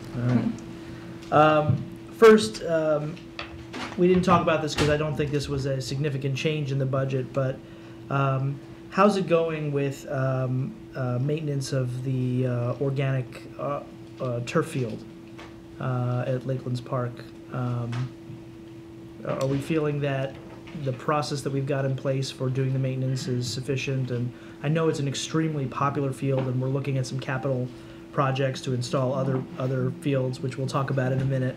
Um, But I just wanted to get a sense, you know, regarding the maintenance issues, how that was going. The, it's going well. Every, um, uh, I think twice a year, is it Mark, that you have to replace, once a year we replace the infill, the organic infill. Mhm. And that's done by the vendor who um, really sort of, you know, warranties the field. Right. Um, it is, uh, as with, as with items like this, the price of the organic infill is, is costlier than if we used a, a, a different, you know, material, but uh, Right. we don't really exper- we're not really experiencing significant maintenance issues. It's just, it's well understood and it's working well.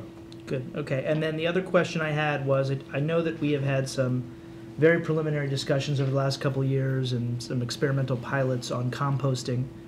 Um, I don't know if you've had any um, bigger picture discussions with Tony or, you know, within the department generally about what this might look like if down the road the city decided to look into sort of a more serious, more comprehensive effort to do composting at the residential level.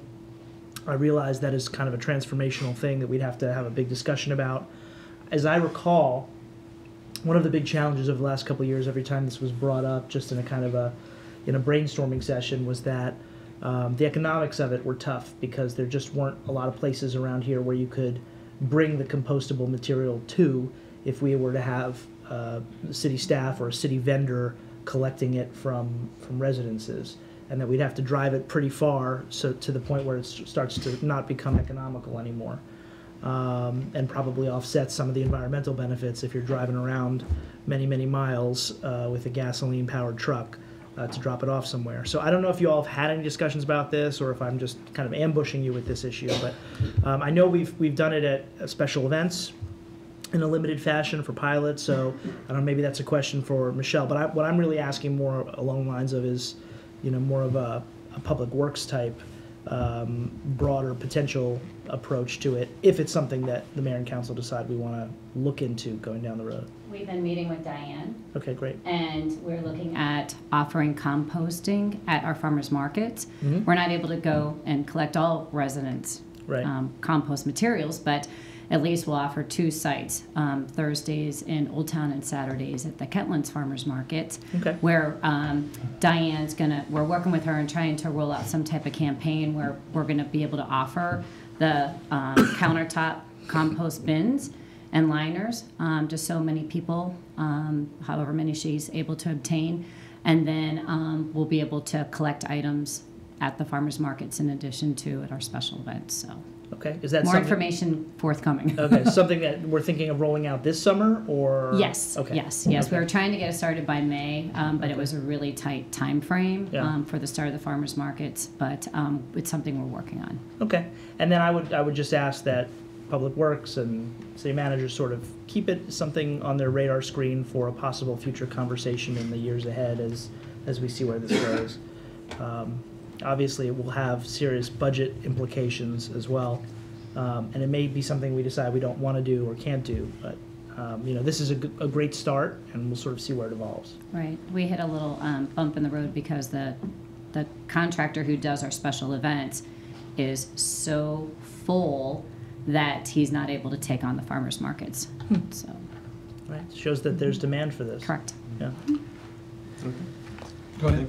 So since we're on- this green theme, I mentioned, the I asked the question about the replacement of doors at the, at the Robertson Park Youth Center. We talked, and I heard somebody said that the, the LEED rating, that standard or certification had expired, and I was wondering why we wouldn't do something about maintaining that certification, since we made that investment originally. Is that the case, or, or? I believe the city code um, only requires that the buildings be built to LEED uh, silver uh, standard, and there, there's no requirement to maintain it as, at that, uh, to maintain the. Well, it was never, that was, I don't believe that facility was actually LEED silver. I think it was, it was LEED certified, but it wasn't silver. Was it silver? But the question is, why would we make the investment and brag about it and then not maintain the certification that we have been bragging about?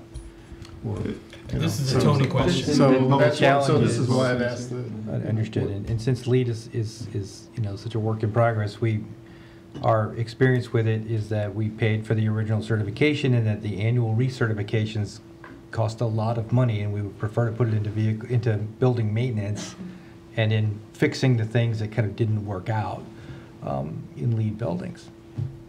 I agree That's with the that. simple, Well, I think it's, you know, I- we've, we've uh, taken the strategic direction that we want to be a green city, and I think if we build something to, and with the expectation that it's going to continue to be, uh, provide that, that level of service, uh, you know, in a way it's symbolic, and, but I think.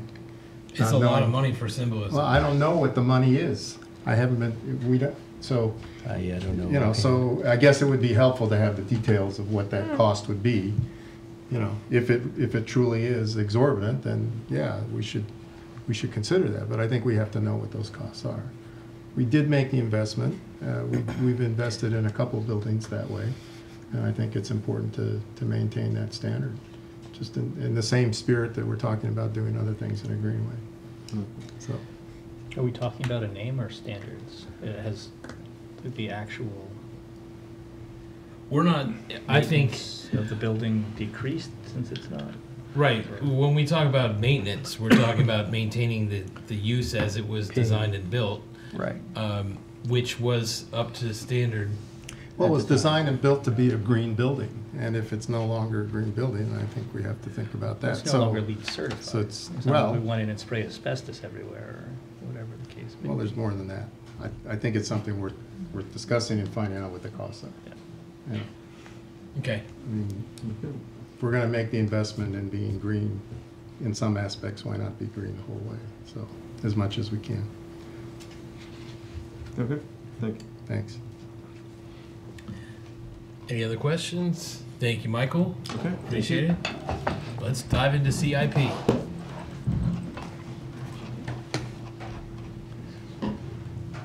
Those staff members who would like to leave at this point an opportunity. Yeah, um, let me just say, let me, because I know we're gonna have some department heads and, and division chiefs, uh, take off, because maybe they don't have much at stake with CIP.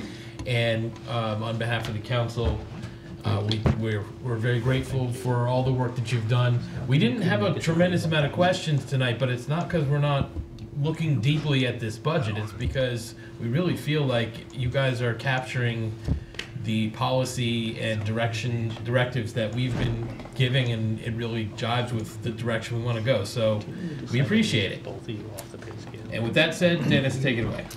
Um, Mayor and council, as you know, the CIP budget has changed in terms of how the format has done.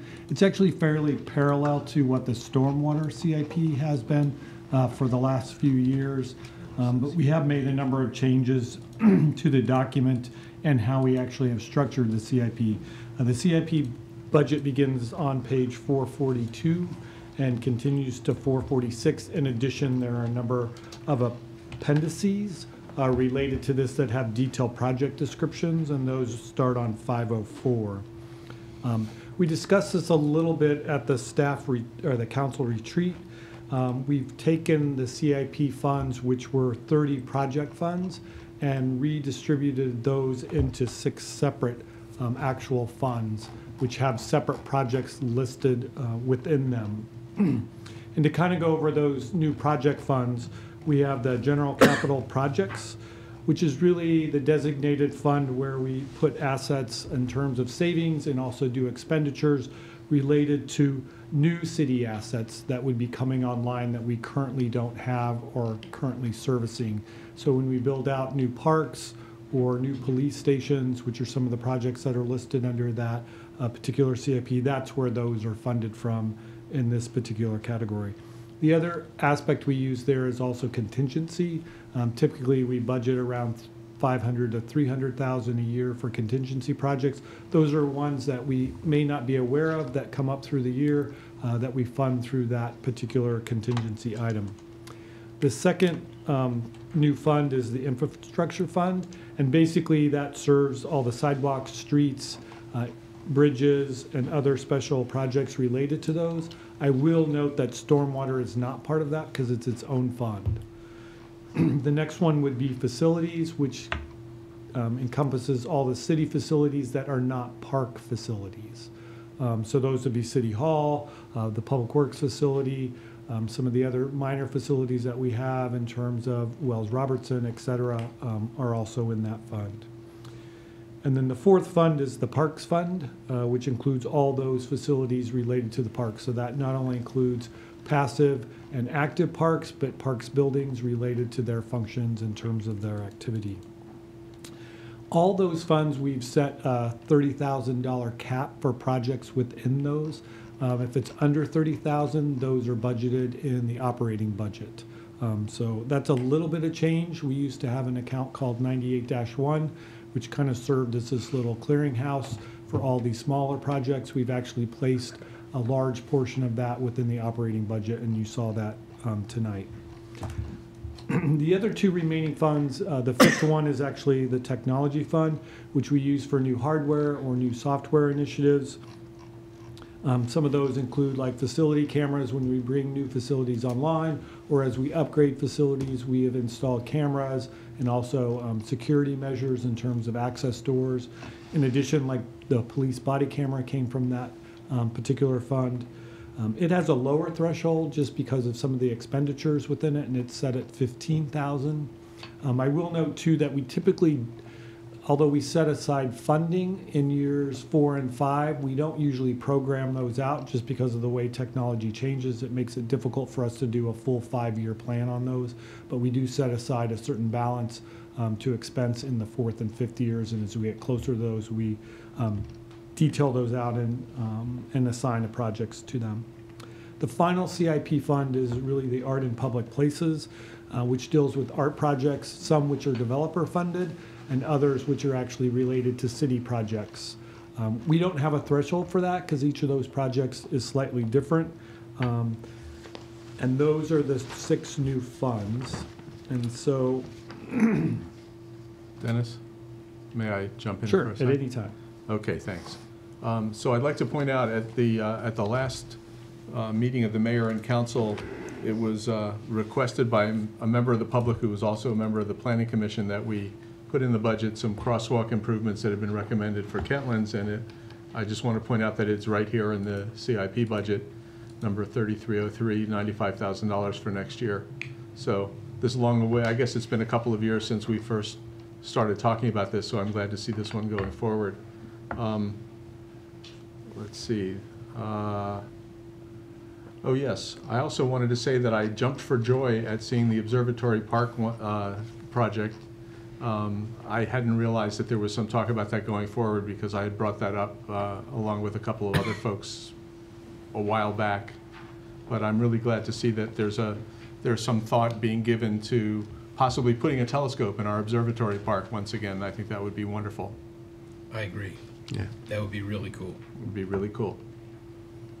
So one of the new features you'll see in the CIP is actually um, detailed project pages for each of the projects. Uh, Before, you know, they were somewhat worded in kind of paragraph form where you had a one sentence or actually three or four words and then the amount that we were spending.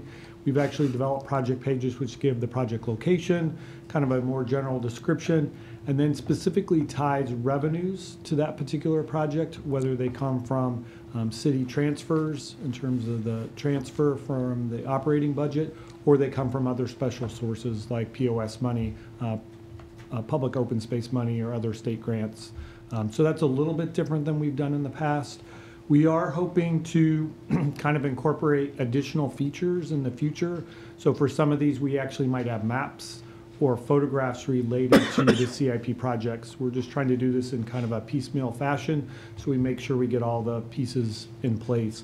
And again, most of those are found in the appendix um, of the document, and those are on pages 500, um, starting on 500. So I thought I would go over the, the new projects were actually listed in your packet, starting on page 445. Um, We've added uh, new projects in the amount of about $4.2 million for those. And I'll go through them in terms of how we've outlined the actual CIP funds. So we do have the general capital projects. We've added one, uh, two, one new project to that aspect, which was the mayor and city council chambers. We've had a lot of discussion about that, but it hasn't appeared in the CIP before, so this will be the first time it actually appears in the CIP. In addition, as uh, Neil noted, we've added one to the infrastructure um, CIP, which was the Kentlands Boulevard Crosswalk Project, um, which was um, something that we've been looking at trying to do for the last few years, but we finally have incorporated that into the actual CIP. We've actually added four projects to the infrastructure CIP. Um, The first one And actually, the first three really deal with kind of assessments. Um, one of the things we've been trying to do with our CIP, because we're a pay-as-you-go city, is determine how much money should we be setting aside for general maintenance and ongoing maintenance of our facilities. And so we actually have two assessment facility um, projects going on, one for the activity center and then one for Casey Community Center.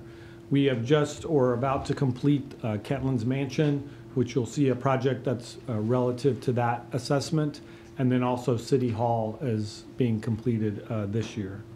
The other one we're doing is a pavement assessment program for the city parking lots, similar to what we've done for the streets, but we're actually doing it for all our city parking lots. And then as noted by Mike, when he talked about the sand um, outfall replacement for the Public Works facility, that is now incorporated into the CIP. We've actually added seven projects related to the Parks CIP. Um, One of them would be the Community Museum HVAC and storage enclosure. We're incorporating this into the relocation of the bug car. Uh, This would be the time to do it. Um, So we're looking at trying to provide maybe a little bit more storage, but also a little bit better screening of the HVAC units there at the museum complex. And then as Neil noted again, um, we're doing a study for Observatory Park to look at modifications and possible placement of an actual telescope um, at that facility. As I noted earlier, one of the outcomes of the Kentlands Mansion study was to kind of prioritize and look at um, the various aspects that Park and Rec would like to see at that facility along with maintenance. And one of them was the permanent porch enclosure, um, so that has been included in the CIP. Uh, We will also be doing Diamond Farms Park Court um, number three, some lighting related to that. And that's kind of um, a little bit different than our other- lighting projects, and we're looking at kind of pickleball courts at those particular facilities, which is a new activity that the Parks and Rec have been doing uh, for the last couple of years. Mayor thinks that's very important right now. I know somebody Especially the be happy. pickleball stuff. We have, Pickleball's uh, really fun. Just just saying. Uh, we have a trail replacement um, for Washingtonian Woods Park, which is a- approximately a mile long. This is probably the first uh, replacement that we've done of that, of any major trail. We've done some minor improvements, but this will replace the entire trail path. We also have the community center electronic sign, um, similar to the one that's at Bohrer Park now. And then we have the gym partition replacement um, between the two gym facilities.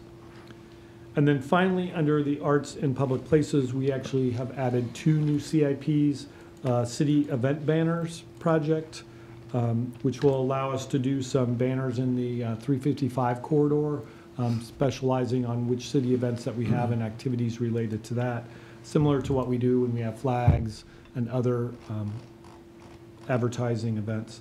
And then we also have additional funding set aside for 16 South Summit, which is the new police station, of doing a public art project um, at that particular facility. I'd be happy to answer any questions that you have on the new projects, and then I was just going to touch base on a few um, existing projects that we have to kind of update you on those. I just have one quick question, and Denise may have the answer, and maybe you have the answer or not, Dennis. But um, Denise and I have been, and Tony have been talking about a potential project to do some sort of public art pro- um, on the back of the brick wall on East Diamond, uh, and perhaps in, incorporating some of the parking garage there.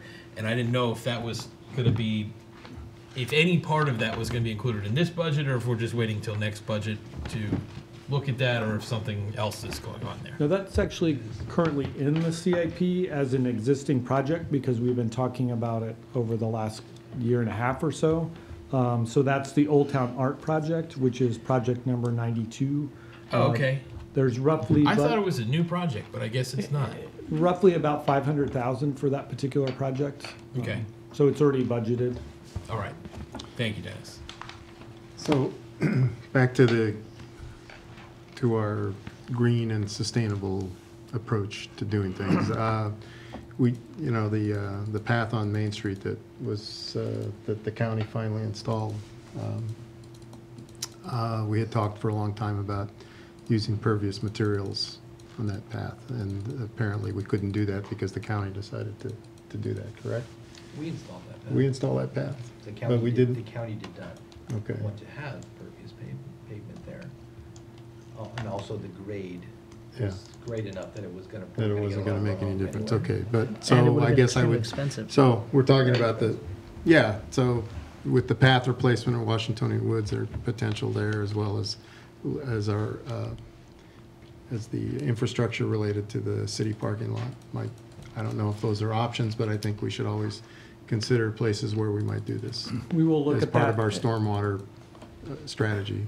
And then also, I Management should note that the current um, pavement being proposed for Metamune Park is Mhm. actually flexi-pave, which is a porous pavement material. It's a little bit different than porous pavement. It's a little Mhm. bit more flexible than that.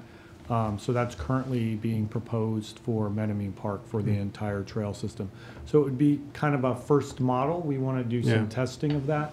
That would be the first place we would actually install it and then see how it's working, similar to what we do with the synthetic fields. You know, we do a project, we see how it works, and then we move forward if we think it's doing okay. Yeah.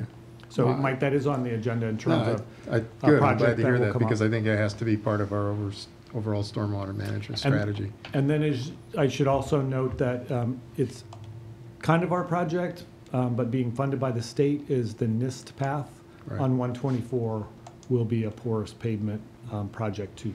So we will have some new projects to look at and see how well they do. Good, thank you. Any other questions on new projects? Um, In terms of some of the older projects I wanted to update you on, uh, the police station project, which is on page uh, 510 of the packet. I just wanted to let you know that we're currently looking at that project in terms of funding and the budget um, that's coming forward. We have some new budget estimates that are coming back. Um, To be honest, we're a little concerned about some of the things we're hearing from a construction standpoint um, related to some of the tariffs and just the number of projects that are coming online uh, within the general metropolitan area. Um, So I just wanted to let you know that we're, we're looking at alternatives for some of those projects to make sure that we come in on budget on that. Um, So I just wanted to make you aware of that. That's a pretty significant project for us. Definitely. Um, You know, we're currently at roughly um, 12 million uh, for that particular project. Um, And then we have the council chambers on, on top of that. The We other- also were looking, had been looking for a bond bill, right, for that project? We have, but we were not able to secure a bond bill Right. from either the Senate or the delegate side. We have had a conversation today of looking at other alternatives uh, with the governor's office, so we That's I will be pursuing um, those. Um, We have talking, spoken with uh, two senators regarding that particular aspect, and we'll be working in the interim to try to develop a plan for that, uh, with the hope that we try to at least get some indication of whether that funding would come forward before we accept any bid on the police station, uh, should we have issues with being over uh, the proposed budget when the bids come back. Thank you. So this may be the first significant project where the tariffs are likely to have an impact on the overall cost. It's really so hard to predict right now, Yeah. um, but you know, everyone's looking at that particular aspect, partly because it's so unknown. Yeah. Uh, there's not a lot of steel in it, but there is a lot of aluminum in it. Um, again, most of the studs will be made of aluminum, and so the building is being gutted and reconfigured from that standpoint. So um, it all depends on who gets exempted from the tariff and who doesn't, and how all that works. And I'm not sure we'll know that before we actually go out to bid, even um, given the current status of the federal government. Well, you know, I think it's important for the public to know that as well, so, I mean, these are the consequences of some decisions made at a, at a higher level, and that, you know, that, that does ripple down. It does, you know, yeah, it cascades down to the municipal level, where you don't usually think about it. Um, One of the other projects we made modifications to, which was the CPS, the former CPSC site, or the Consumer Protection Safety Site, um, off of Darnestown Road, that's on page 514. We've actually, actually added quite a bit of additional funding to this project um, to kind of bring it in line with what we think is uh, the right solution in terms of the park itself and then the building modification. So we've actually added uh, $1.8 million to that project, uh, mostly from project open space funding. So not from the general fund, but from the allocation that we receive for project open space. Um, In addition, uh, one of the projects uh, that we're actually looking at reconsidering and trying to reevaluate based upon new cost estimates is related to the vehicle bay wash at the Public Works, which is on page 555. Uh, The original budget for that was roughly 500,000. Uh, The new estimates are coming in more at 825, 825,000. And so staff is going to go back and reevaluate whether um, constructing a facility that can handle all our vehicles. Um, you know, originally the approach was we'd be able to do police vehicles, city vehicles, and trucks, and whether that's still doable and whether that seems to be a good cost benefit analysis or if we should reduce the scope or look for other alternatives in how we clean our vehicles um, for the, the long term. Um, so that one may actually disappear or may be morphed or modified uh, when the budget comes back to you. Do we have a sense of what the tipping point is in terms of I the honestly- change in maintenance, uh, uh, this kind of Yeah, honestly- maintenance and the cost of replacing those vehicles if they don't last as long? Um, I think we're trying to wash now. We would probably end up having to create a wash bay for the larger vehicles that we could do, because currently we wash those in the yard, and that's really not something we can continue to do under our industrial permit. Um, so we're gonna have to look at all those issues that come together. So I don't have a good analysis at this point, but, uh, when we bring the budget back, I may actually send you a separate email saying, here's what we decided to do, uh, regarding that particular project. And then the final project I wanted to bring to your attention um, is the water park slide replacement, which is on page 564 of the packet.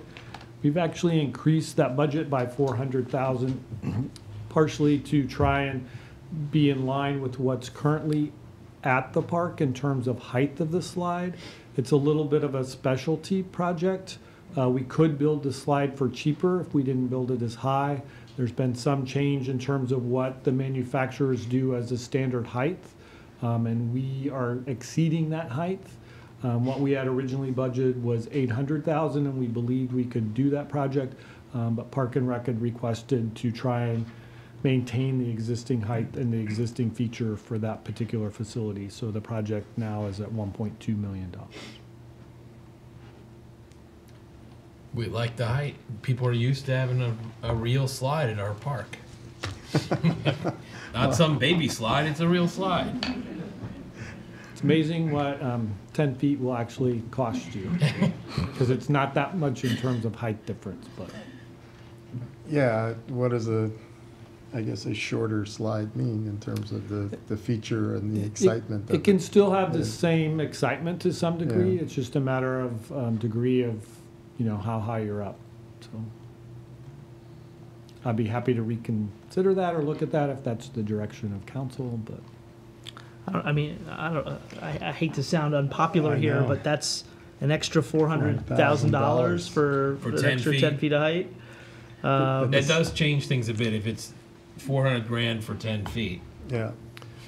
We could bid it as two, it, it gets hard because this is a design build Yeah. aspect. Um, so it gets hard for us to say, okay, it's gonna, you could have one or two heights. We might be able to work something like that out when we did the bid and then come back to council with the options.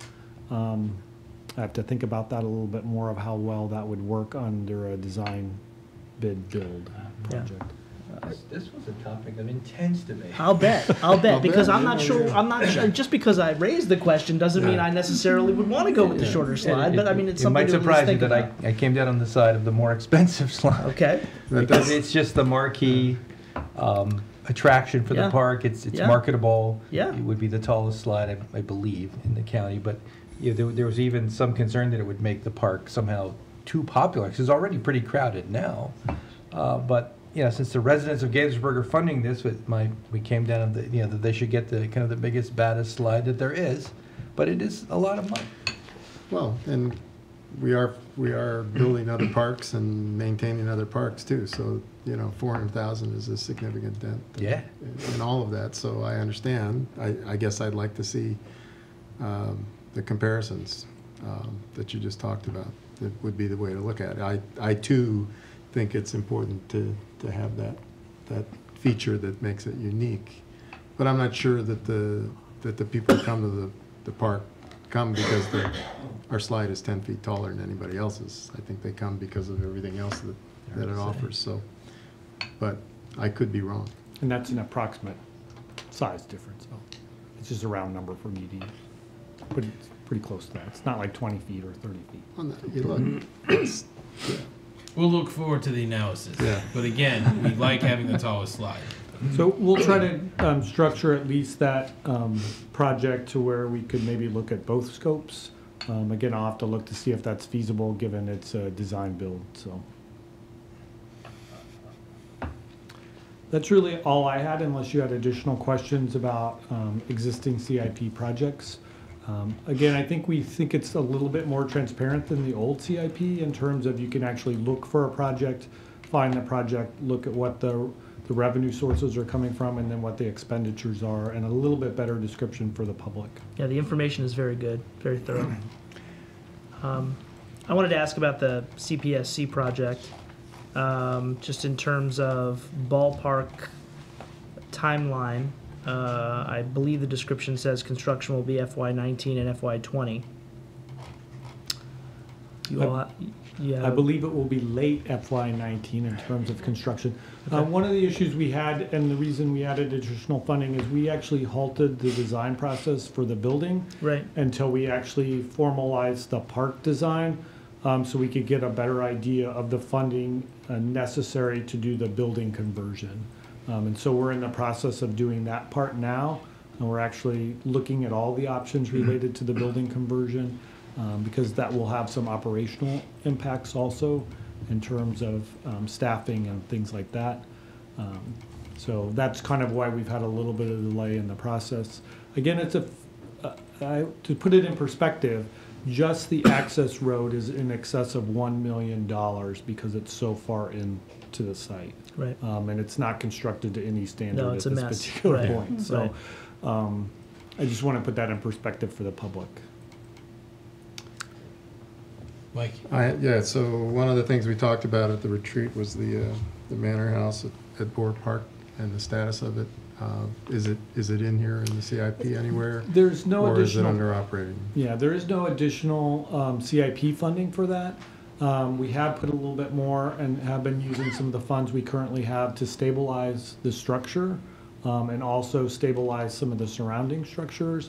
Again, I think we would like um, some time to get some of the larger projects that we currently have in the CIP done. You know, we have two existing parks um, that are pretty large parks projects that we're currently doing, uh, both CPSC and, and MedImmune Park.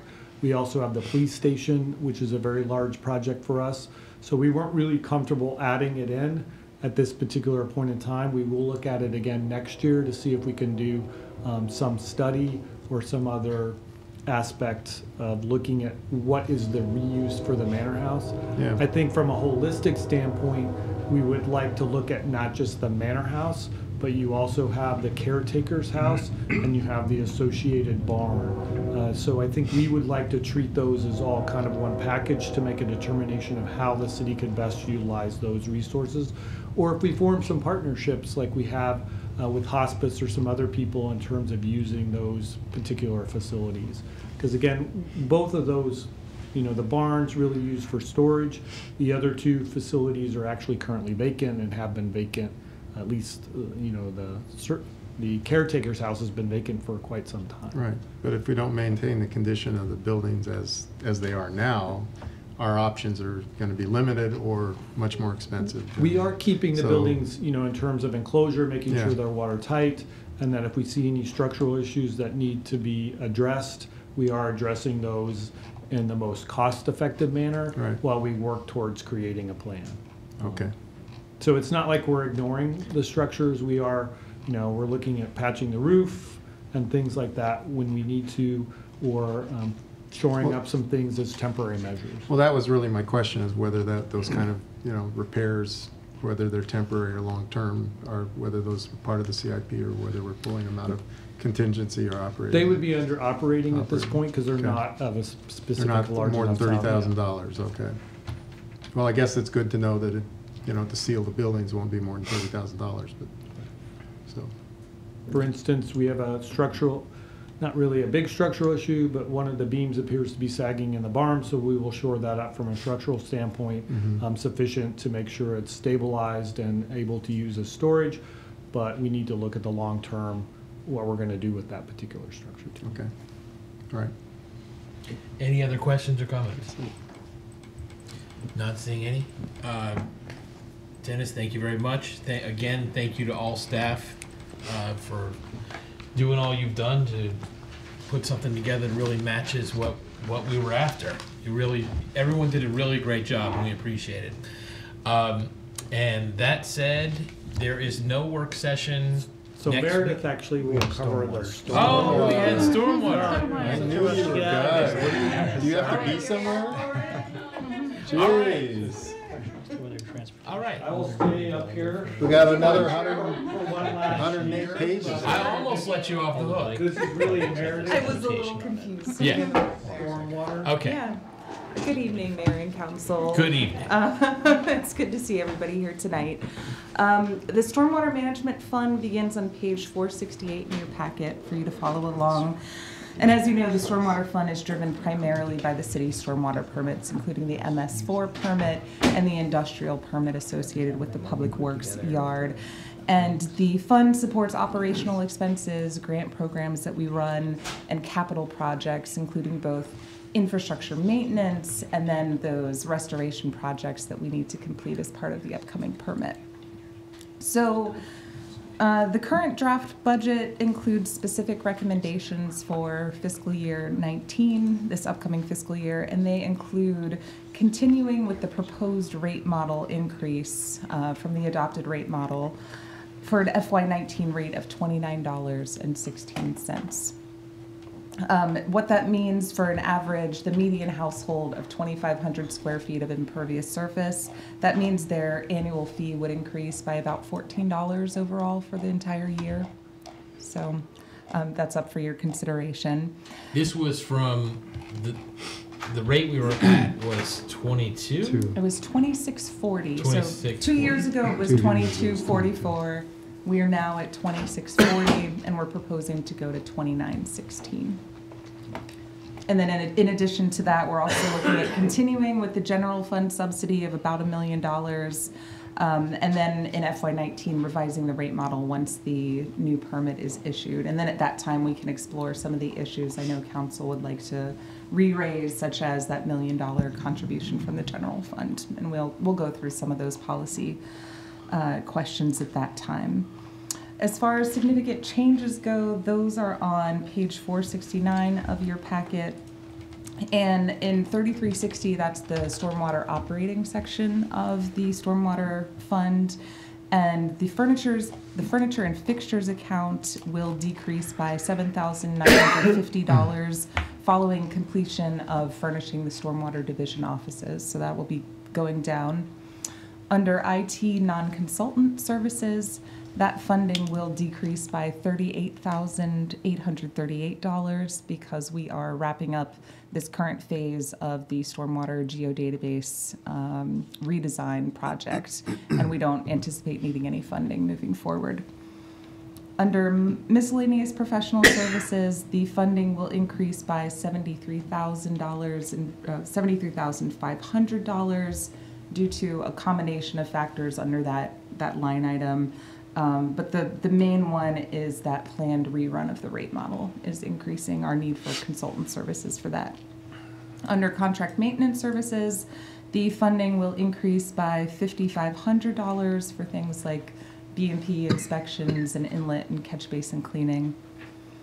And conference, seminar, and class registration funding is proposed to increase to fifty, uh, by fifty-six hundred dollars to cover conference registrations for, and trainings for stormwater division staff.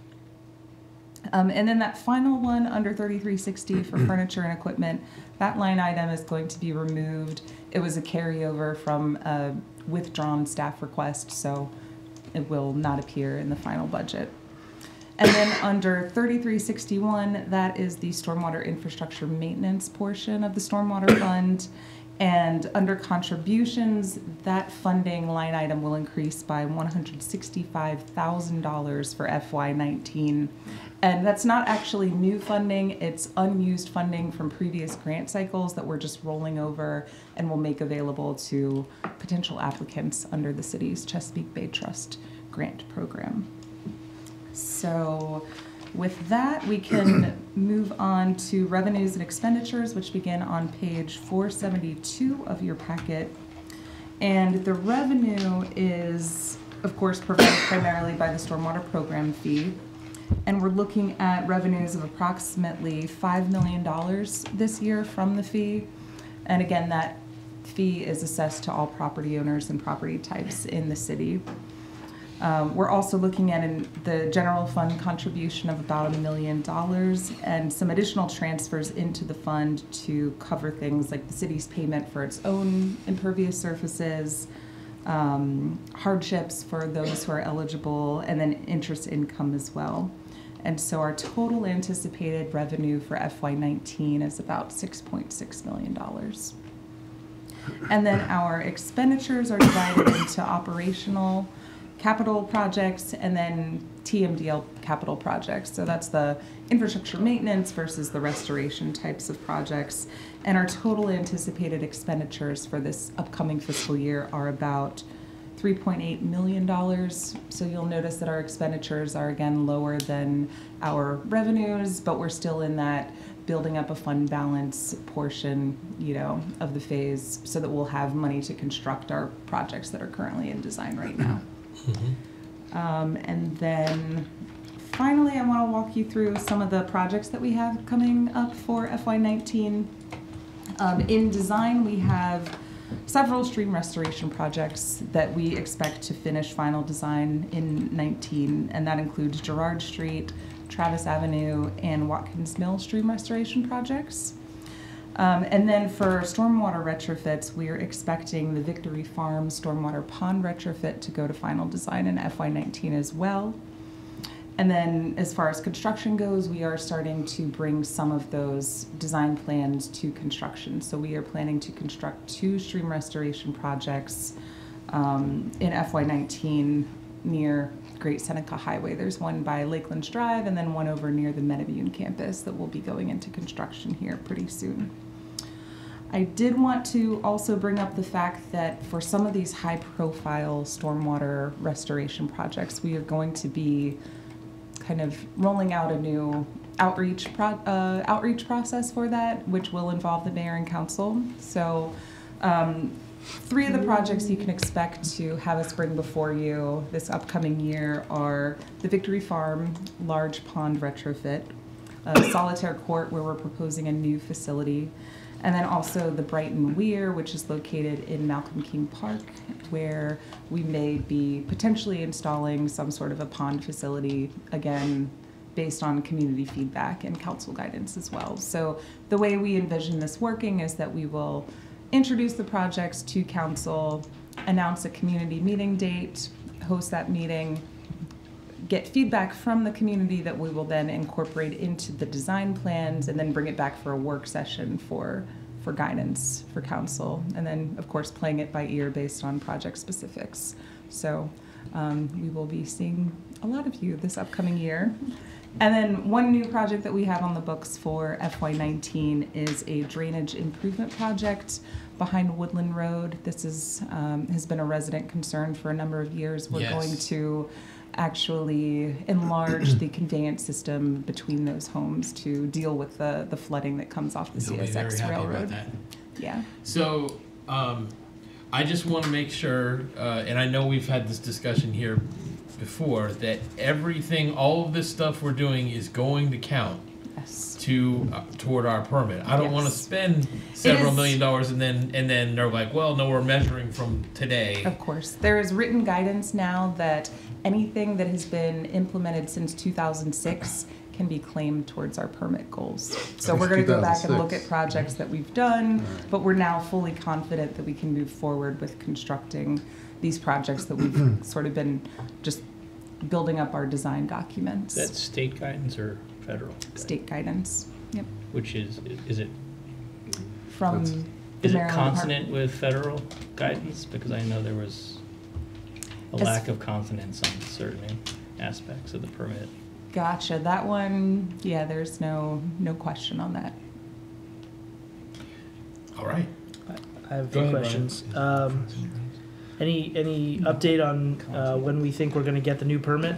So I got an email this morning. It was supposed to be out March 30th. Now it's supposed to be this Friday, April 27th. This Friday. Well, this Friday is about as imminent as, it, as it's ever that's been. pretty imminent, considering It it's been pushed for. It was also years. imminent on March Years. 30th when Yeah. I thought we were going to get it. Yeah. Um, Yeah. But this came from the person at MDE who wrote wrote the permit and is Okay. kind of the permit coordinator from Maryland Department of the Environment. Okie doke. I remember it seeming i- imminent in 2015. Yes, that's right. Should yeah. have been imminent yeah. in 20, 2008 Yeah, was when yeah. it expired. Exactly. Um, a couple other questions, um, you know, and uh, don't don't feel the need to opine on this, but I, I, I just wanted to ask you if if staff had any take on the county budget issues with respect to stormwater. It was a little bit of a, a headline in the county that uh, the county executive's budget uh, significantly cut uh, funding for stormwater projects, and I don't know, you know, if that was just an instance of kicking the can down the road, or if there was So- some sort of legal basis to be able to say we don't actually have to spend as much as we're we thought we did. I'm gonna let Dennis. I'm gonna take a, take a, take a crack at it first. Okay. I don't know. All right. I don't know if you are referring to the county's plan to privatize some of their restoration projects. I think that's probably what you're talking about. Uh, Montgomery County during their first permit cycle was unable to meet their restoration goals, and so I think there were conversations between them, MDE, and EPA about how best to move forward. And it sounds like the county um, themselves made made the decision to potentially privatize a portion of their program. Um, the impacts to us, I don't see us necessarily following the same route that they did because based on the plan that we have laid out in the CIP from now till 2025, which is when these improvements need to be in the ground, um, you know, we are very well planned out that we will have the credits that we need to fulfill this permit term, pending some very large projects, um, but we have a good plan laid out. I will now hand it to Dennis. We actually met with um, representatives of the county, so I asked them some specific questions about that. Um, They are actually under a decree to Mhm. actually meet the requirements. Um, So they're looking at going back and actually reassessing the credits that they should have um, gotten. I believe they think one of the issues that they have not looked at very well would be new redevelopment projects that have happened in the county that weren't necessarily county projects, but should be eligible for credits. Um, so they're going back and reevaluating all those, and as Meredith pointed out, that I don't know what their timeline is in terms of how far back they can go, because their permit schedule is a little bit different, but even in our case, it's a civic, significant number of years that you can go back and retroactively apply credits. Yeah. I believe they've indicated they weren't doing that for redevelopment projects within the county. So they think they're going to get quite a few credits regarding that and believe they will be on target, target to meet their mandate, um, the previous permit mandate. Okay. um, Under the decree. Okay, and you said we can look back to 2006. 2006. Um, I- we, ha- we haven't yet done that um, inventory, have we? We have a, we, we do have kind of a base inventory, but we're gonna do, you know, Okay. once the permit's finally out, you know, we're doing our background right now, but we'll do kind of a final, last, best effort involving multiple departments to make sure we pull in all of the projects that could potentially apply to us. Which would in- potentially include, based on what Dennis just said, uh, private uh, uh, land as well, right? Yeah, yeah. Yes, so any so- redevelopment projects that we've had since that date Yeah. actually count towards our goal Yeah, Okay. both, of the permit. both new development New that's happened under, significant. yeah, new development Yeah, gets well- full Yeah. credit, but then under the state manual and the city's stormwater ordinance, anything redevelopment can claim fifty percent Right, right. credit for it. Right. Well, so that's kind of uh, So- Mike is kind of uh, jumping to the to the to the conclusion that I was getting at, which Sure. is that it's possible we'll have a very significant increase in what we can uh, claim credit for after we do this full inventory. It's, Right. it's a little bit complicated because it all goes back to our baseline impervious year, which Right. they, which MDE still hasn't completely said when that will be, but most likely, I know. So we don't know what our baseline is, but we know we can count back to 2006. 2002 is what it sounds like the impervious baseline is going to be. So a lot of that new development that's been added later, it gets credit, but it's, you know, um, it gets credit because it's providing its own stormwater, but we're really concerned about those areas that never had stormwater installed in the first place. Got it. For the Okay. most part. Well, practically every, well, practically every development um, from Lakelands up till now was built in that time frame. Yeah. So that's pretty significant.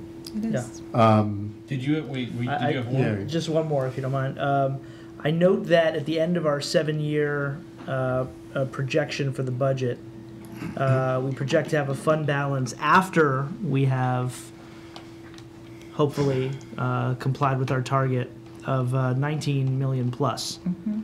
And so that's a pretty significant um, leftover amount in the bank. And I understand the idea is that this this effort doesn't suddenly cease after seven years. We have to continue to do it out into the future um, indefinitely, presumably.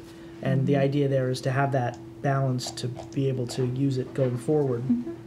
Have we done any sort of uh, analysis about whether that's too much, whether that's sort of right what we want to have once Right. we're at the end of the seven-year process that we're focusing on right now? Sure, sure. So this is something that we're going to take a look at with, with our consultant when we go back through the rate model uh, exercise again, because, you know, right now we are in year four of that five-year rate model that we adopted. And so, you know, next year FY twenty will be that fifth year.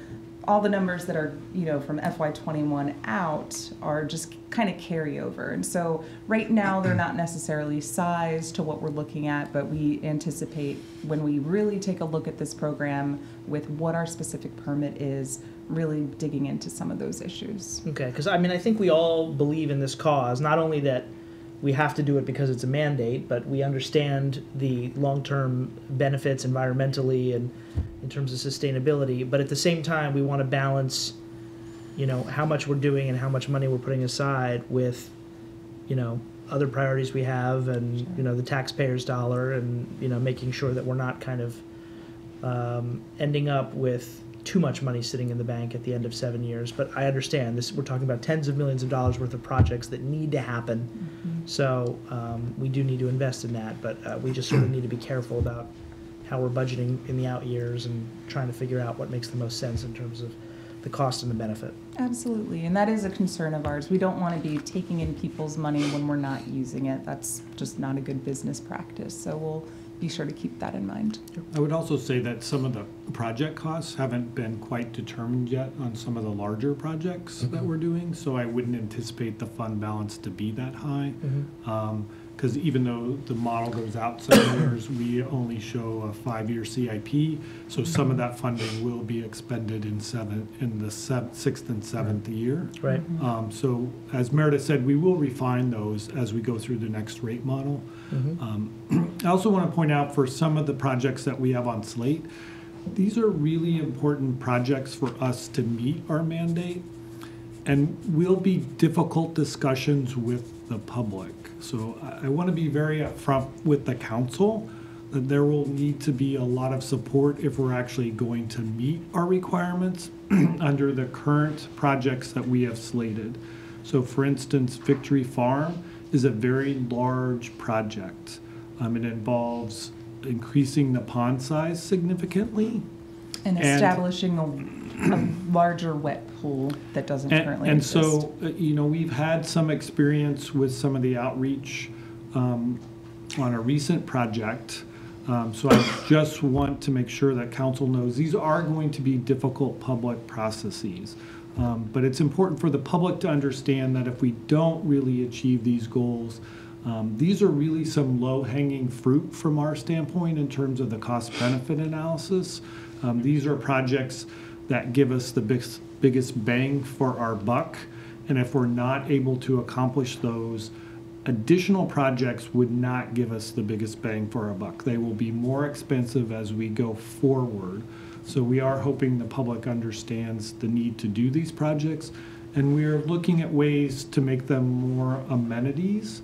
Um, and we'll probably come back to the council with some proposals about how do we do that, especially on Victory Farm. We're increasing the, the size of the facility and also the size of really the wetlands area. Can we incorporate trails? Can we incorporate other features? We don't necessarily feel comfortable paying for those aspects through the stormwater fund, but looking to the CIP to um, install some of those features as part of an overall project. But it's really critical that we get across the point that if we don't, in particular, Victory Farm is what percentage of the credits? Brighton Weir is even larger. Right, so- And that, yeah. We, we have some pretty, you know, we only have a small number of projects, but they're large credit amounts. Mhm. And so I, I just want to be clear to the public that it's going to take a lot of cooperation um, to make these projects happen, and we will do our best to make them amenities as much as we can, but we really need them to occur. I know we've gotten some public pushback on some of the other recent projects we've done, so I just want to make sure everybody's on the same Got it. playing uh, table. You know, So what's the- I, I think we have to balance the, you know, the, how our citizens use, how our residents use public space now that's available. If it's an active park, it's really hard to make a case for taking that offline to build a stormwater facility with a fence around it in a prominent location, which is basically the kind of model that was proposed for the solitary court project.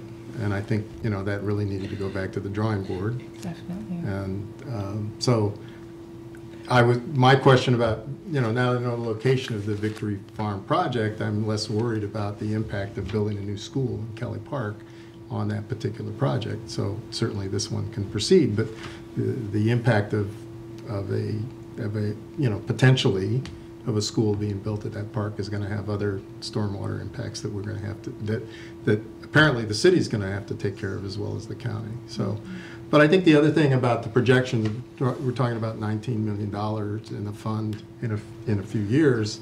When I delivered testimony on behalf of the city and the National League of Cities to Congress, to a congressional committee, I asked staff to calculate what our costs would be to get us up to the twenty percent target uh, of mitig, of mitigation. And over that period of time, we were looking at costs ex- exceeding forty million dollars for all the projects that were online. So nineteen million is, you know, less than half of what it would take to bring us up to meeting those, those mandated targets under the, you know, the previous permit or whatever we thought the permit was going to be. So, um, you know, we, we're gonna have to continue to invest in this because the costs aren't gonna go down. These things are gonna get more expensive and we're gonna have other issues to take care of. But, but yeah, I, look, I think we're all prepared to, to make a case to the public about the necessity to do these things. But on the other hand, we, we can't take other amenities away from our residents in order to comply with this. And we're gonna have to figure out how to balance that. And sometimes it's just gonna be a more costly project. um, Or more costly design, and we have to think about other innovative ways to do that. So that we can maintain those Wait, hold on, spaces. I wanna go to Yeah. Thanks. Go ahead, Neil.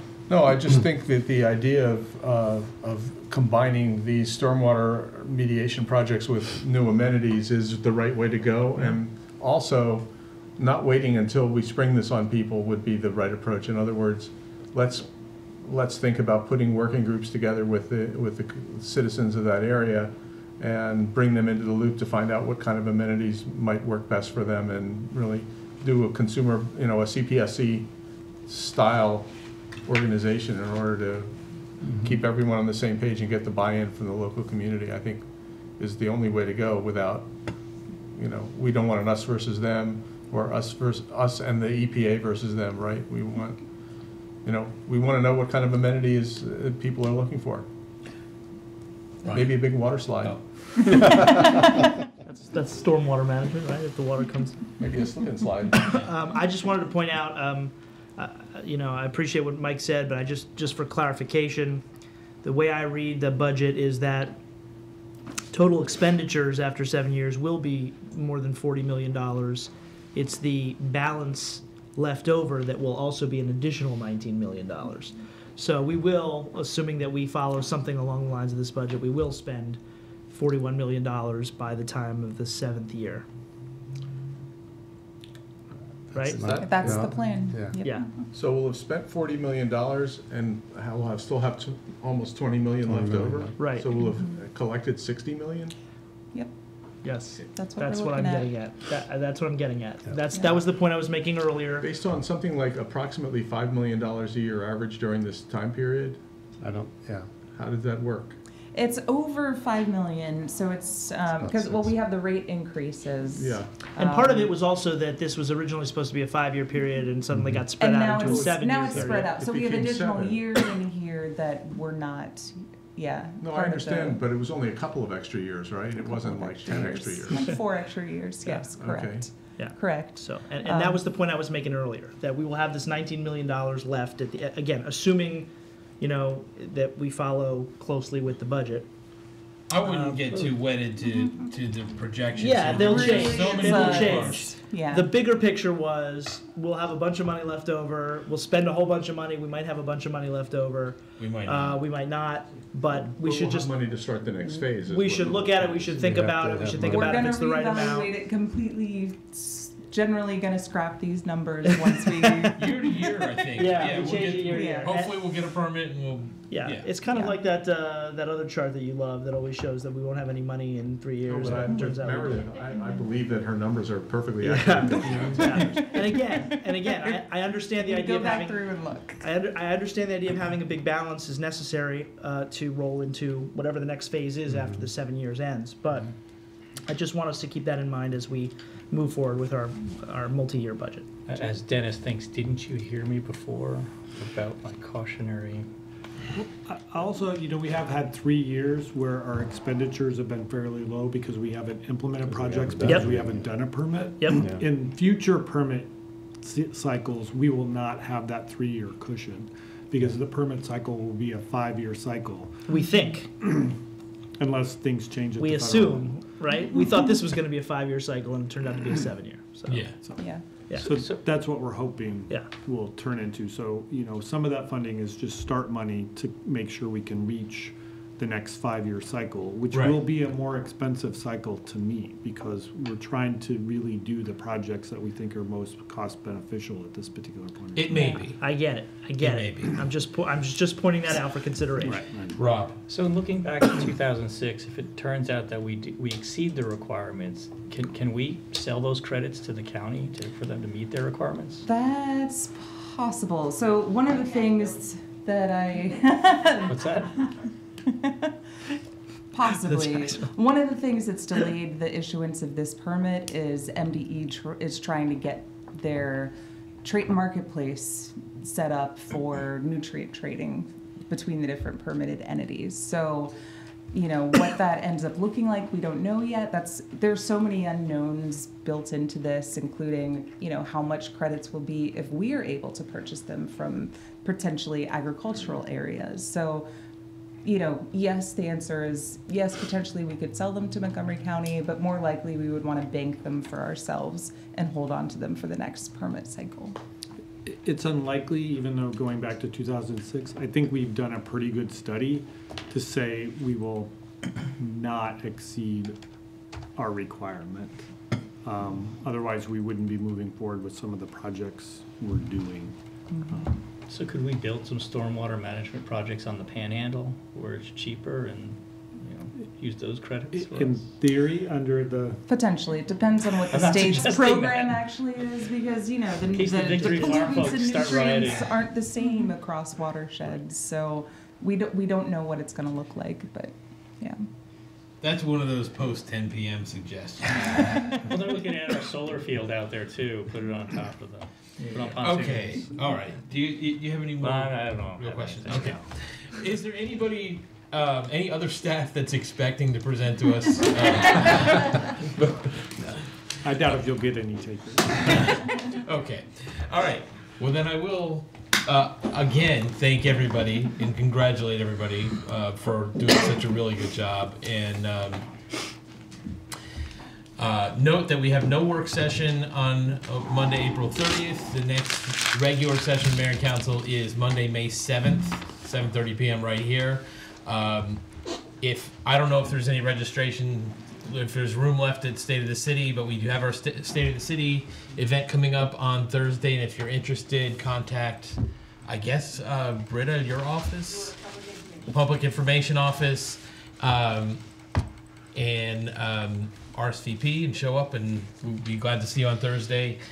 And again, uh, save the date for the book festival and for uh, La Mia de Mayo. Um, all this is coming up. It's a busy time. Um, until next time, let's do great things, Gaithersburg. We are adjourned.